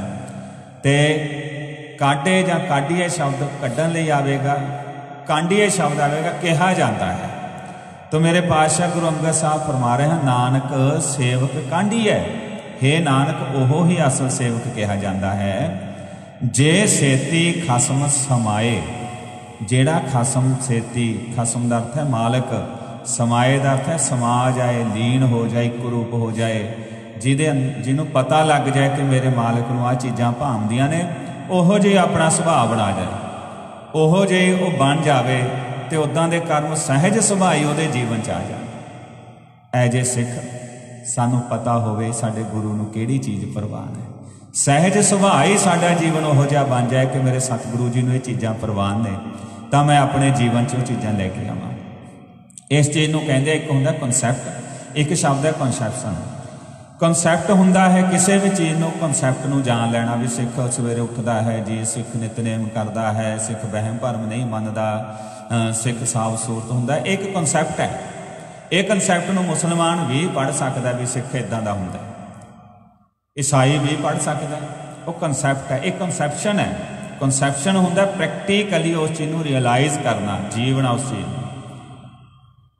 ਤੇ ਜਦੋਂ ਕਨਸੈਪਸ਼ਨ ਆਏਗੀ, ਉਦੋਂ ਆਪਾਂ ਸਿੱਖ ਬਣਦੇ ਆ ਕਨਸੈਪਟ ਕੋਈ ਵੀ ਪੜ ਸਕਦਾ ਈਸਾਈ ਦਾ, ਯਹੂਦੀ ਦਾ, ਮੁਸਲਮਾਨ ਦਾ ਕਨਸੈਪਟ ਆਪਾਂ ਐਜ ਸਿੱਖ ਪੜ ਸਕਦੇ ਪਰ ਐਜ ਏ ਮੁਸਲਿਮ ਜਦੋਂ ਉਹ ਨਵਾਜ਼ ਕਰਦਾ, ਖੁਦਾ ਅੱਗੇ ਨਵਾਜ਼ ਪੜ ਰਿਹਾ, ਉਹਦੀ ਕੀ ਫੀਲਿੰਗਸ ਨੇ, ਉਹ ਤਾਂ ਮੁਸਲਮਾਨ ਹੀ ਸਮਝ ਸਕਦਾ ਹੈ ਨਾ। ਅਸੀਂ ਨਹੀਂ ਸਮਝਾਂਗੇ ਉਸ ਚੀਜ਼ ਨੂੰ। ਮਸੀਹ ਨੂੰ ਜਦੋਂ ਸੂਲੀ ਤੇ ਟੰਗਿਆ ਗਿਆ, ਉਹ ਐਜ ਏ ਮਸੀਹ ਐਜ ਏ ਕ੍ਰਿਸਚੀਅਨ ਕੋਈ ਬੰਦਾ ਮਹਿਸੂਸ ਕਰ ਸਕਦਾ ਵੀ ਸਾਡੇ ਪੈਗੰਬਰ ਨੂੰ ਇਦਾਂ ਦੁੱਖ ਦਿੱਤਾ ਗਿਆ। ਅਸੀਂ ਉਸ ਚੀਜ਼ ਨੂੰ ਉਦਾਂ ਮਹਿਸੂਸ, ਅਸੀਂ ਪੜਾਂਗੇ ਥੋੜਾ ਮੋਟਾ ਮਹਿਸੂਸ ਕਰ ਲਈਏ, ਵੱਖਰੀ ਗੱਲ ਆ ਪੜ ਸਕਦੇ ਹਾਂ। ਕਨਸੈਪਟ ਨੂੰ ਜਾਣ ਸਕਦੇ ਹਾਂ। ਪਰ ਧਰਮੀ ਕਦੋਂ ਬਣਦਾ? ਜਦੋਂ ਉਹ ਕਨਸੈਪਟ ਤੋਂ ਕਨਸੈਪਸ਼ਨ ਬਣ ਜਾਏ। ਜਦੋਂ ਅਰਦਾਸ ਕਰਦਾ, ਸਿੱਖ ਨਿਤਨੇਮ ਕਰਦਾ, ਉਹਦਾ ਰੂਪ ਹੋ ਜਾਏ ਵੀ ਐ ਜੇ ਸਿੱਖ। ਮੈਂ ਕਰਨਾ ਨਹੀਂ, ਬਲਕਿ ਮੈਂ ਜੇ ਕਰਦਾ ਤਾਂ ਹੀ ਮੈਂ ਸਿੱਖ ਹਾਂ। ਉਹ ਜੀਵਨ 'ਚ ਢਲ ਗਈ ਚੀਜ਼। ਉਹ ਚੀਜ਼ ਜਦੋਂ ਆ ਜਾਂਦੀ ਹੈ, ਹੁਣ ਗੁਰੂ ਸਾਹਿਬਾਨ ਦੀ ਸ਼ਹਾਦਤ, ਸਾਹਿਬਜ਼ਾਦਿਆਂ ਦੀ ਸ਼ਹਾਦਤ ਵਾਲੇ ਕੋਈ ਈਸਾਈ ਵੀ ਪੜ ਸਕਦਾ ਹੈ, ਮੁਸਲਮਾਨ ਵੀ ਪੜ ਸਕਦਾ ਹੈ। ਪਰ ਜਿਹੜੀ ਫੀਲਿੰਗ ਸਾਹਿਬਜ਼ਾਦਿਆਂ ਦੀ, ਸ਼ਹੀਦੀ ਦੀ ਗੱਲ ਕਰਦੇ ਆ, ਸਾਡੇ ਮਨ 'ਚ ਆਉਂਦੀ, ਉਹ ਫੀਲਿੰਗ ਉਹਨਾਂ ਦੇ ਮਨ 'ਚ ਨਹੀਂ ਆਵੇਗੀ। ਕਿਉਂਕਿ ਉਹ ਕਨਸੈਪਟ ਪੜ ਰਹੇ ਨੇ ਜਾਂ ਸਾਡੀ ਹਿਸਟਰੀ ਪੜ ਰਹੇ ਨੇ, ਉਹ ਠੀਕ ਆ, ਉਹ ਕਹਿ ਸਕਦੇ ਆ ਵੀ 7-9 ਸਾਲ ਦੇ ਬੱਚਿਆਂ ਤੇ ਜ਼ੁਲਮ ਹੋ ਗਿਆ। ਉਹ ਇਦਾਂ ਕਹਿ ਸਕਦੇ ਆ। ਪਰ ਉਹ ਚੀਜ਼ ਨੂੰ ਜਦੋਂ ਐਜ ਏ ਸਿੱਖ ਅਸੀਂ ਮਹਿਸੂਸ ਕਰਦੇ ਆ, ਤਾਂ ਉਹ ਸ਼ਹੀਦੀ ਹਫ਼ਤੇ ਦੇ ਵਿੱਚ ਦੇਖੋ ਆਪਣੇ ਮਨਾਂ ਦੀ ਕੀ ਅਵਸਥਾ ਹੁੰਦੀ ਹੈ। ਫਤਿਹਗੜ੍ਹ ਸਾਹਿਬ ਦੀ ਧਰਤੀ ਤੇ ਕਿਸ ਤਰ੍ਹਾਂ ਸੰਗਤਾਂ ਵੈਰਾਗ ਦੇ ਵਿੱਚ ਉਸ ਸਥਾਨ ਤੇ ਆਪਣਾ ਸਿਰ ਰੱਖਦੀਆਂ ਨੇ। ਅੱਜ ਵੀ ਤੁਸੀਂ ਕਿਸੇ ਵੀ ਸਮੇਂ ਜਾਓ ਫਤਿਹਗੜ੍ਹ ਸਾਹਿਬ ਜਦੋਂ ਆਪਾਂ ਹੇਠਾਂ ਭੋਰਾ ਸਾਹਿਬ ਚੋਂ ਕੰਧ ਦੇ ਸਾਹਮਣੇ ਬਹਿੰਦੇ ਆ, ਜਿੱਥੇ ਸਾਹਿਬਜ਼ਾਦਿਆਂ ਨੂੰ ਚੁਣ ਕੇ ਸ਼ਹੀਦ ਕੀਤਾ ਗਿਆ ਜਿਹੜੀ ਕੰਧ ਦੇ ਵਿੱਚ, ਉਸ ਵੇਲੇ ਉੱਥੇ ਤੁਸੀਂ ਦੇਖੋ ਕਿਸੇ ਦੀ ਉੱਚੀ ਆਵਾਜ਼ ਨਹੀਂ ਨਿਕਲ ਸਕਦੀ ਉੱਥੇ। ਕਿੰਨਾ ਸਹਿਜ, ਕਿਵੇਂ ਬਾਣੀ ਪੜ੍ਹੀ ਜਾ ਰਹੀ ਹੈ, ਕਿੰਨਾ ਇਕਾਗਰਤਾ ਨਾਲ ਚੌਂਕੜੇ ਲਗਾ ਕੇ ਸੰਗਤਾਂ ਬੈਠੀਆਂ ਹੁੰਦੀਆਂ ਹਨ ਉੱਥੇ। ਜਿੱਥੇ ਕਿਤੇ ਸਾਹਿਬਜ਼ਾਦਿਆਂ ਨੇ ਗਜ਼ਮੀ ਆਵਾਜ਼ ਦੇ ਵਿੱਚ ਸੂਬੇ ਨੂੰ ਕਹਿ ਦਿੱਤਾ ਸੀ ਕਿ ਸੂਬਿਆ ਤੂੰ ਠੀਕ ਹੈ, ਸਾਡੇ ਤੋਂ ਆਪਣੀ ਈਨ ਮਨਾਉਣਾ ਚਾਹੁੰਦਾ ਹੈ। ਸਾਨੂੰ ਕੱਟਣ ਵੱਢਣ ਦੇ ਡਰਾਬੇ ਦੇ ਰਿਹਾ ਪਰ ਇੱਕ ਗੱਲ ਯਾਦ ਰੱਖੀ। ਇੱਕ ਕਵੀ ਨੇ ਕਿਹਾ ਸੀ ਕਿ ਸਾਹਿਬਜ਼ਾਦਿਆਂ ਨੇ ਕਿਹਾ ਸੀ, ਕੱਟੋ, ਟੋਕਿਆਂ ਦੇ ਨਾਲ ਕੱਟੋ। ਗੱਡੋ ਪਤਾਲਾਂ ਦੇ ਵਿੱਚ ਗੱਡੋ। ਜ਼ੁਲਮਾਂ ਦੇ ਅੱਗੇ ਸੀਸ ਅਸਾਡਾ। ਨਾ ਝੁਕਿਆ ਏ ਨਾ ਝੁਕਣਾ ਖਾਨਾ। ਤੇਰੀਆਂ ਰੰਬੀਆਂ ਛਵੀਆਂ ਪਾਸੋਂ, ਤੇਰੀਆਂ ਤੇਜ ਕਟਾਰਾਂ ਪਾਸੋਂ। ਗੋਬਿੰਦ ਸਿੰਘ ਦਾ ਲਹੂ ਅਣਖੀਲਾ। ਨਾ ਮੁਕਣਾ ਨਾ ਸੁੱਕਣਾ ਖਾਨਾ। ਓਏ ਖਾਨਾ, ਤੂੰ ਗੁਰੂ ਗੋਬਿੰਦ ਸਿੰਘ ਦੇ ਪੁੱਤਰਾਂ ਕੋਲੋਂ ਆਪਣੀ ਈਨ ਮਨਾਉਣੀ ਚਾਹੁੰਦਾ ਹੈ, ਕਿਆਮਤ ਤੱਕ ਨਾ ਪੂਰੀਆਂ ਹੋ ਸਨ ਤੇਰੀਆਂ ਨੀਚ ਮੁਰਾਦਾਂ ਖਾਨਾ। ਕਿਆਮਤ ਦੇ ਦਿਨ ਤੱਕ ਵੀ ਉਡੀਕ ਕਰੇ, ਗੁਰੂ ਗੋਬਿੰਦ ਸਿੰਘ ਦੇ ਲਾਲ ਡੋਲਣਗੇ ਨਹੀਂ। ਉਹ ਜਿੱਡੇ ਜਜ਼ਬੇ ਨਾਲ ਉਹ ਸ਼ਹਾਦਤ ਦਿੱਤੀ ਤੇ ਜਿੱਡੀ ਵੈਰਾਗਮਈ ਸ਼ਹਾਦਤ ਸੀ, ਉਹਨੂੰ ਇੱਕ ਸਿੱਖ ਹੀ ਮਹਿਸੂਸ ਕਰ ਸਕਦਾ ਹੈ। ਦੂਜਾ ਉਸ ਪੱਧਰ ਤੱਕ ਮਹਿਸੂਸ ਨਹੀਂ ਕਰੇਗਾ। ਤੋਂ ਜਦੋਂ ਉਹ ਚੀਜ਼ ਨੂੰ ਜੀਵਨ ਦੇ ਵਿੱਚ ਲੈ ਆਉਂਦੇ ਆ, ਤਾਂ ਉਹ ਕਨਸੈਪਸ਼ਨ ਹੁੰਦੀ ਹੈ ਉਹ ਚੀਜ਼ ਜਦੋਂ ਜੀਵੀ ਜਾ ਰਹੀ ਹੈ ਫਿਰ ਉਹਦੇ ਆਨੰਦ ਨੂੰ, ਉਹਦੇ ਰਸ ਨੂੰ, ਫਿਰ ਉਹ ਜੀਵ ਤੋ ਗੁਰੂ ਅੰਗਦ ਸਾਹਿਬ ਜੀ ਕਹਿ ਰਹੇ ਹਨ, ਨਾਨਕ ਸੇਵਕ ਕਾਂਢੀਐ ਜੇ ਸੇਤੀ ਖਸਮ ਸਮਾਏ। ਜਿਹੜਾ ਸੇਵਕ ਖਸਮ ਨਾਲ ਸਮਾ ਜਾਏ ਖਸਮ ਨਾਲ ਇੱਕ ਰੂਪਤਾ ਕਰ ਲਏ। ਗੁਰੂ ਨਾਲ ਇੱਕ ਰੂਪਤਾ ਬਣਨ ਲੱਗ ਜਾਏ ਫੇਰ ਉਹ ਸੇਵਕ ਕਾਂਢੀਐ ਅਸਲ ਉਹ ਸੇਵਕ ਕਹੀ ਤਾਂ ਜਾ ਸਕਦਾ ਹੈ ਵੀ ਹੁਣ ਗੱਲ ਬਣ ਗਈ ਅਸਲ ਸਿੱਖ ਕਹੀ ਤਾਂ ਜਾ ਸਕਦਾ ਹੈ, ਜਦੋਂ ਚੀਜ਼ ਨੂੰ ਮਹਿਸੂਸ ਕਰਦੇ ਹੋਏ ਜੀਵਣਾ ਸ਼ੁਰੂ ਕਰਦਾ ਹੈ। ਔੜੀ ਨਾਨਕ, ਅੰਤ ਨਾ ਜਪਨੀ, ਹਰ ਤਾਕੇ ਪਾਰਾਵਾਰ। ਆਪ ਕਰਾਏ ਸਾਖਤੀ ਫਿਰ ਆਪ ਕਰਾਏ ਮਾਰ। ਤੋ ਆਪ ਜੀ ਪੌੜੀ ਦੇ ਵਿੱਚ ਫਰਮਾ ਰਹੇ ਹਨ, ਨਾਨਕ ਅੰਤ ਨਾ ਜਾਪਣੀ, ਹਰ ਤਾਕੇ ਪਾਰਾਵਾਰ। ਵਾਹਿਗੁਰੂ ਜੀ ਦਾ ਜੋ ਪਾਰਾਵਾਰ ਹੈ, ਪਾਰ ਉਰਾਰ ਤੇ ਵਾਰ, ਪਰਲਾ ਪਾਸਾ। ਭਾ ਵਾਹਿਗੁਰੂ ਜੀ ਦੀਆਂ ਜੋ ਬਖਸ਼ਿਸ਼ਾਂ ਨੇ, ਜੋ ਦਾ ਸਰੂਪ ਹੈ, ਜੋ ਇਹ ਪਸਾਰਾ ਹੈ ਦਾ ਅੰਤ ਨਹੀਂ ਹੈ। ਆਪ ਕਰਾਏ ਸਾਖਤੀ, ਫਿਰ ਆਪ ਕਰਾਏ ਮਾਰ। ਵਾਹਿਗੁਰੂ ਆਪ ਹੀ ਸਾਖਤੀ ਸਾਰੀ ਬਣਾਵਟ ਬਣਾਉਣ ਵਾਲਾ ਹੈ ਤੇ ਆਪ ਹੀ ਮਾਰ ਮਾਰਦਾ ਹੈ, ਭਾਵ ਇਸ ਨੂੰ ਖਤਮ ਕਰਕੇ ਕੋਈ ਹੋਰ ਰੂਪ ਬਣਾ ਦਿੰਦਾ ਹੈ। ਇਕ ਨਾ ਗਲੀ ਜੰਜੀਰੀਆਂ, ਇਕ ਤੁਰੀ ਚੜੈ ਬਿਸਿਆਰ। ਆਪ ਕਰਾਏ ਕਰੇ ਆਪ ਹਉ ਕੈਸਿਉ ਕਰੀ ਪੁਕਾਰ। ਨਾਨਕ ਕਰਣਾ ਜਿਨ ਕੀਆ, ਫਿਰ ਤਿਸ ਹੀ ਕਰਨੀ ਸਾਰ। ਆਪ ਜੀ ਫਰਮਾ ਰਹੇ ਹਨ ਇੱਕ ਨਾ ਗਲੀ। ਇਹਨੂੰ ਆਪਾਂ ਗਲੀ ਪੜਾਂਗੇ ਜੀ, ਗਲਾਂ ਦੇ ਵਿੱਚ। ਗਲੀ ਪੜਾਂਗੇ, ਗਲੀ ਤੋਂ ਅਰਥ ਗਲੀਆਂ, ਵੀਹੀਆਂ, ਰਸਤਾ। ਗੱਲੀ ਪੜ ਦਵਾਂਗੇ ਤਾਂ ਗੱਲਾਂ ਤੋਂ ਮਤਲਬ ਗੱਲਾਂ ਬਾਤਾਂ ਹੋ ਗਿਆ। ਗਲੀ ਗੱਗਾ ਲੱਲੇ ਨੂੰ ਵਿਹਾਰੀ ਤੇ ਉੱਪਰ ਜਿਵੇਂ ਬਿੰਦੀ ਲੱਗੀ ਹੋਵੇ, ਗਲੀ ਗਲਾਂ ਦੇ ਵਿੱਚ। ਰੱਬ ਜੀ ਦੀ ਰਚਨਾ ਇਹੋ ਜੀ ਹੈ, ਇੱਕ ਨਾ ਗਲੀ ਜੰਜੀਰੀਆਂ, ਕਈਆਂ ਦੇ ਗਲਾਂ ਦੇ ਵਿੱਚ ਜੰਜੀਰੀਆਂ ਪਈਆਂ ਹਨ। ਇੱਕ ਤੁਰੀ ਚੜ੍ਹੈ ਵਿਸਿਆਰ ਕਈ ਤੁਰੇ ਆਦਿਕ ਤੁਰੇ ਕਹਿੰਦੇ ਨੇ, ਤੁਰੇ ਪਲਾਣੇ ਪਾਉਣ ਵੇਗ ਤੁਰਾ ਘੋੜੇ ਤੇ ਘੋੜੀ ਲਈ ਸ਼ਬਦ ਵਰਤਿਆ ਜਾਂਦਾ ਹੈ। ਉਹਨਾਂ ਸਮਿਆਂ ਦੇ ਸਾਧਨ ਜਿਵੇਂ ਅੱਜ ਕੱਲ ਵਧੀਆ ਗੱਡੀਆਂ ਸਮਝ ਲਓ। ਕਈਆਂ ਦੇ ਗਲਾਂ 'ਚ ਜੰਜੀਰੀਆਂ ਪਈਆਂ ਹੱਥਕੜੀਆਂ ਪਈਆਂ ਕੈਦ ਹੋਏ ਬੈਠੇ ਆ ਤੇ ਕਈ ਵਧੀਆ ਵਧੀਆ ਸਾਧਨਾ ਤੇ ਦੁਨੀਆ ਦੇ ਵਿੱਚ ਤੁਰਦੇ ਫਿਰਦੇ ਸੰਸਾਰ ਨੂੰ ਦੇਖ ਰਹੇ ਹਨ। ਭਾਵ ਕਈ ਗੁਲਾਮ ਨੇ, ਕਈ ਆਜ਼ਾਦ ਹੋਏ ਫਿਰ ਰਹੇ ਹਨ। ਇੱਕ ਨਾ ਗਲੀ ਜੰਜੀਰੀਆਂ, ਇੱਕ ਤੁਰੀ। ਇਹ ਵੀ ਬਹੁ ਵਚਨ ਹੈ, ਤੁਰੀ ਨਹੀਂ ਕਹਾਂਗੇ। ਤੁਰੀ ਤੋਂ ਮਤਲਬ ਜਿੱਦਾਂ ਕੋਈ ਤੁਰਿਆ ਜਾਵੇ, ਇੱਥੇ ਅਰਥ ਹੋ ਜਾਂਦੇ। ਤੁਰਾ ਜਾਂ ਤੁਰੀ, ਇਹ ਘੋੜਿਆਂ ਲਈ ਸ਼ਬਦ ਵਾ। ਤੁਰੀ ਬਹੁ ਵਚਨ ਹੈ, ਤੁਰੀਆਂ ਦੇ ਉੱਪਰ ਘੋੜੀਆਂ ਆਦਿਕ ਦੇ ਉੱਪਰ ਚੜੇ ਫਿਰਦੇ ਹਨ। ਆਪ ਕਰਾਏ ਕਰੇ ਆਪ, ਹਉ ਕੈਸਿਉ ਕਰੀ ਪੁਕਾਰ। ਉਹ ਆਪ ਹੀ ਸਾਰਾ ਕੁਝ ਕਰ ਰਿਹਾ ਹੈ, ਇਸ ਕਰਕੇ ਉਹਨੂੰ ਛੱਡ ਕੇ ਕੈਸਿਉ, ਕਿਹਦੇ ਕੋਲੇ ਕਰੀ ਪੁਕਾਰ ਮੈਂ ਪੁਕਾਰ ਕਰਾਂ? ਦੂਜਾ ਕੋਈ ਹੈ ਹੀ ਨਹੀਂ ਜਿਸ ਦੇ ਕੋਲੇ ਮੈਂ ਪੁਕਾਰ ਕਰਾਂ, ਇਸ ਕਰਕੇ ਨਾਨਕ ਕਰਣਾ ਜਿਨ ਕੀਆ, ਫਿਰ ਤਿਸ ਹੀ ਕਰਨੀ ਸਾਰ। ਹੈ ਨਾਨਕ ਜਿਸ ਵਾਹਿਗੁਰੂ ਨੇ ਇਹ ਜਗਤ ਦੀ ਰਚਨਾ ਕੀਤੀ ਹੈ, ਉਹ ਹੀ ਇਹਦੀ ਸੰਭਾਲ ਕਰ ਰਿਹਾ ਹੈ। ਤੋ ਆਪਣੀ ਟੇਕ ਇੱਕ ਦੇ ਉੱਪਰ, ਇੱਕ ਦੇ ਨਿਯਮ ਉੱਪਰ ਹੀ ਰੱਖਣੀ ਚਾਹੀਦੀ ਹੈ। ਸ਼ਲੋਕ ਮਹਿਲਾ ਪਹਿਲਾ, ਆਪੇ ਭਾਂਡੇ ਸਾਜਣ, ਆਪੇ ਪੂਰਨ ਦੇ। ਇਕਨੀ ਦੁੱਧ ਸਮਾਈਐ ਇਕ ਚੁੱਲ੍ਹੇ ਰਹਿਣ ਚੜੇ ਤੋ ਇੱਥੋਂ ਆ ਕੇ ਹੁਣ 24 ਨੰਬਰ ਪੌੜੀ ਦੇ ਨਾਲ ਦਾ ਜੋ ਪਹਿਲਾ ਸ਼ਲੋਕ ਹੈ, ਆਰੰਭ ਹੁੰਦਾ ਹੈ। 24 ਨੰਬਰ ਪੌੜੀ ਦੇ ਪਹਿਲੇ ਸ਼ਲੋਕ ਦੇ ਵਿੱਚ ਆਪ ਜੀ ਫਰਮਾ ਰਹੇ ਹਨ, ਸ਼ਲੋਕ ਮਹਿਲਾ ਪਹਿਲਾ, ਆਪੇ ਭਾਂਡੇ ਸਾਜਣ, ਆਪੇ ਪੂਰਨ ਦੇ। ਭਾਂਡਾ ਸ਼ਬਦ ਗੁਰਬਾਣੀ ਦੇ ਵਿੱਚ ਕਈ ਰੂਪ ਦੇ ਵਿੱਚ ਆਉਂਦਾ ਹੈ। ਭਾਂਡਾ ਸ਼ਬਦ ਆਉਂਦਾ, ਭਾਂਡਿਆਂ ਦੇ ਲਈ ਵੀ ਆਉਂਦਾ ਹੈ। ਤੇ ਜਿਸ ਨੂੰ ਗੁਰੂ ਸਾਹਿਬ ਜੀ ਨੇ ਇਸ ਤਰ੍ਹਾਂ ਵੀ ਫਰਮਾਇਆ ਹੈ, ਭਾਂਡਾ ਧੋਏ ਬੈਸ ਧੂਪ ਦੇਵੋ ਤਉ ਦੁੱਧੈ ਕੋ ਜਾਵੋ ਵੀ ਤੁਸੀਂ ਭਾਂਡਾ ਧੋ ਕੇ ਬਹਿ ਕੇ ਉਹਨੂੰ ਧੁੱਪੇ ਸੁਕਾ ਕੇ ਫਿਰ ਦੁੱਧ ਲੈਣ ਜਾਂਦੇ ਹੋ। ਉੱਥੇ ਭਾਂਡੇ ਤੋਂ ਅਰਥ ਬਰਤਨ ਤੇ ਭਾਂਡਾ ਹੀ ਹੈ, ਜਿਵੇਂ ਆਮ ਸਧਾਰਨ ਤੌਰ ਤੇ ਭਾਂਡੇ ਹੁੰਦੇ ਹਨ। ਤੋ ਭਾਂਡੇ ਤੋਂ ਭਾਵ ਬਰਤਨ ਤੇ ਭਾਂਡੇ ਤੋਂ ਭਾਵ ਸਰੀਰ ਰੂਪੀ ਬਰਤਨ ਵੀ ਅਰਥ ਆਇਆ ਹੈ।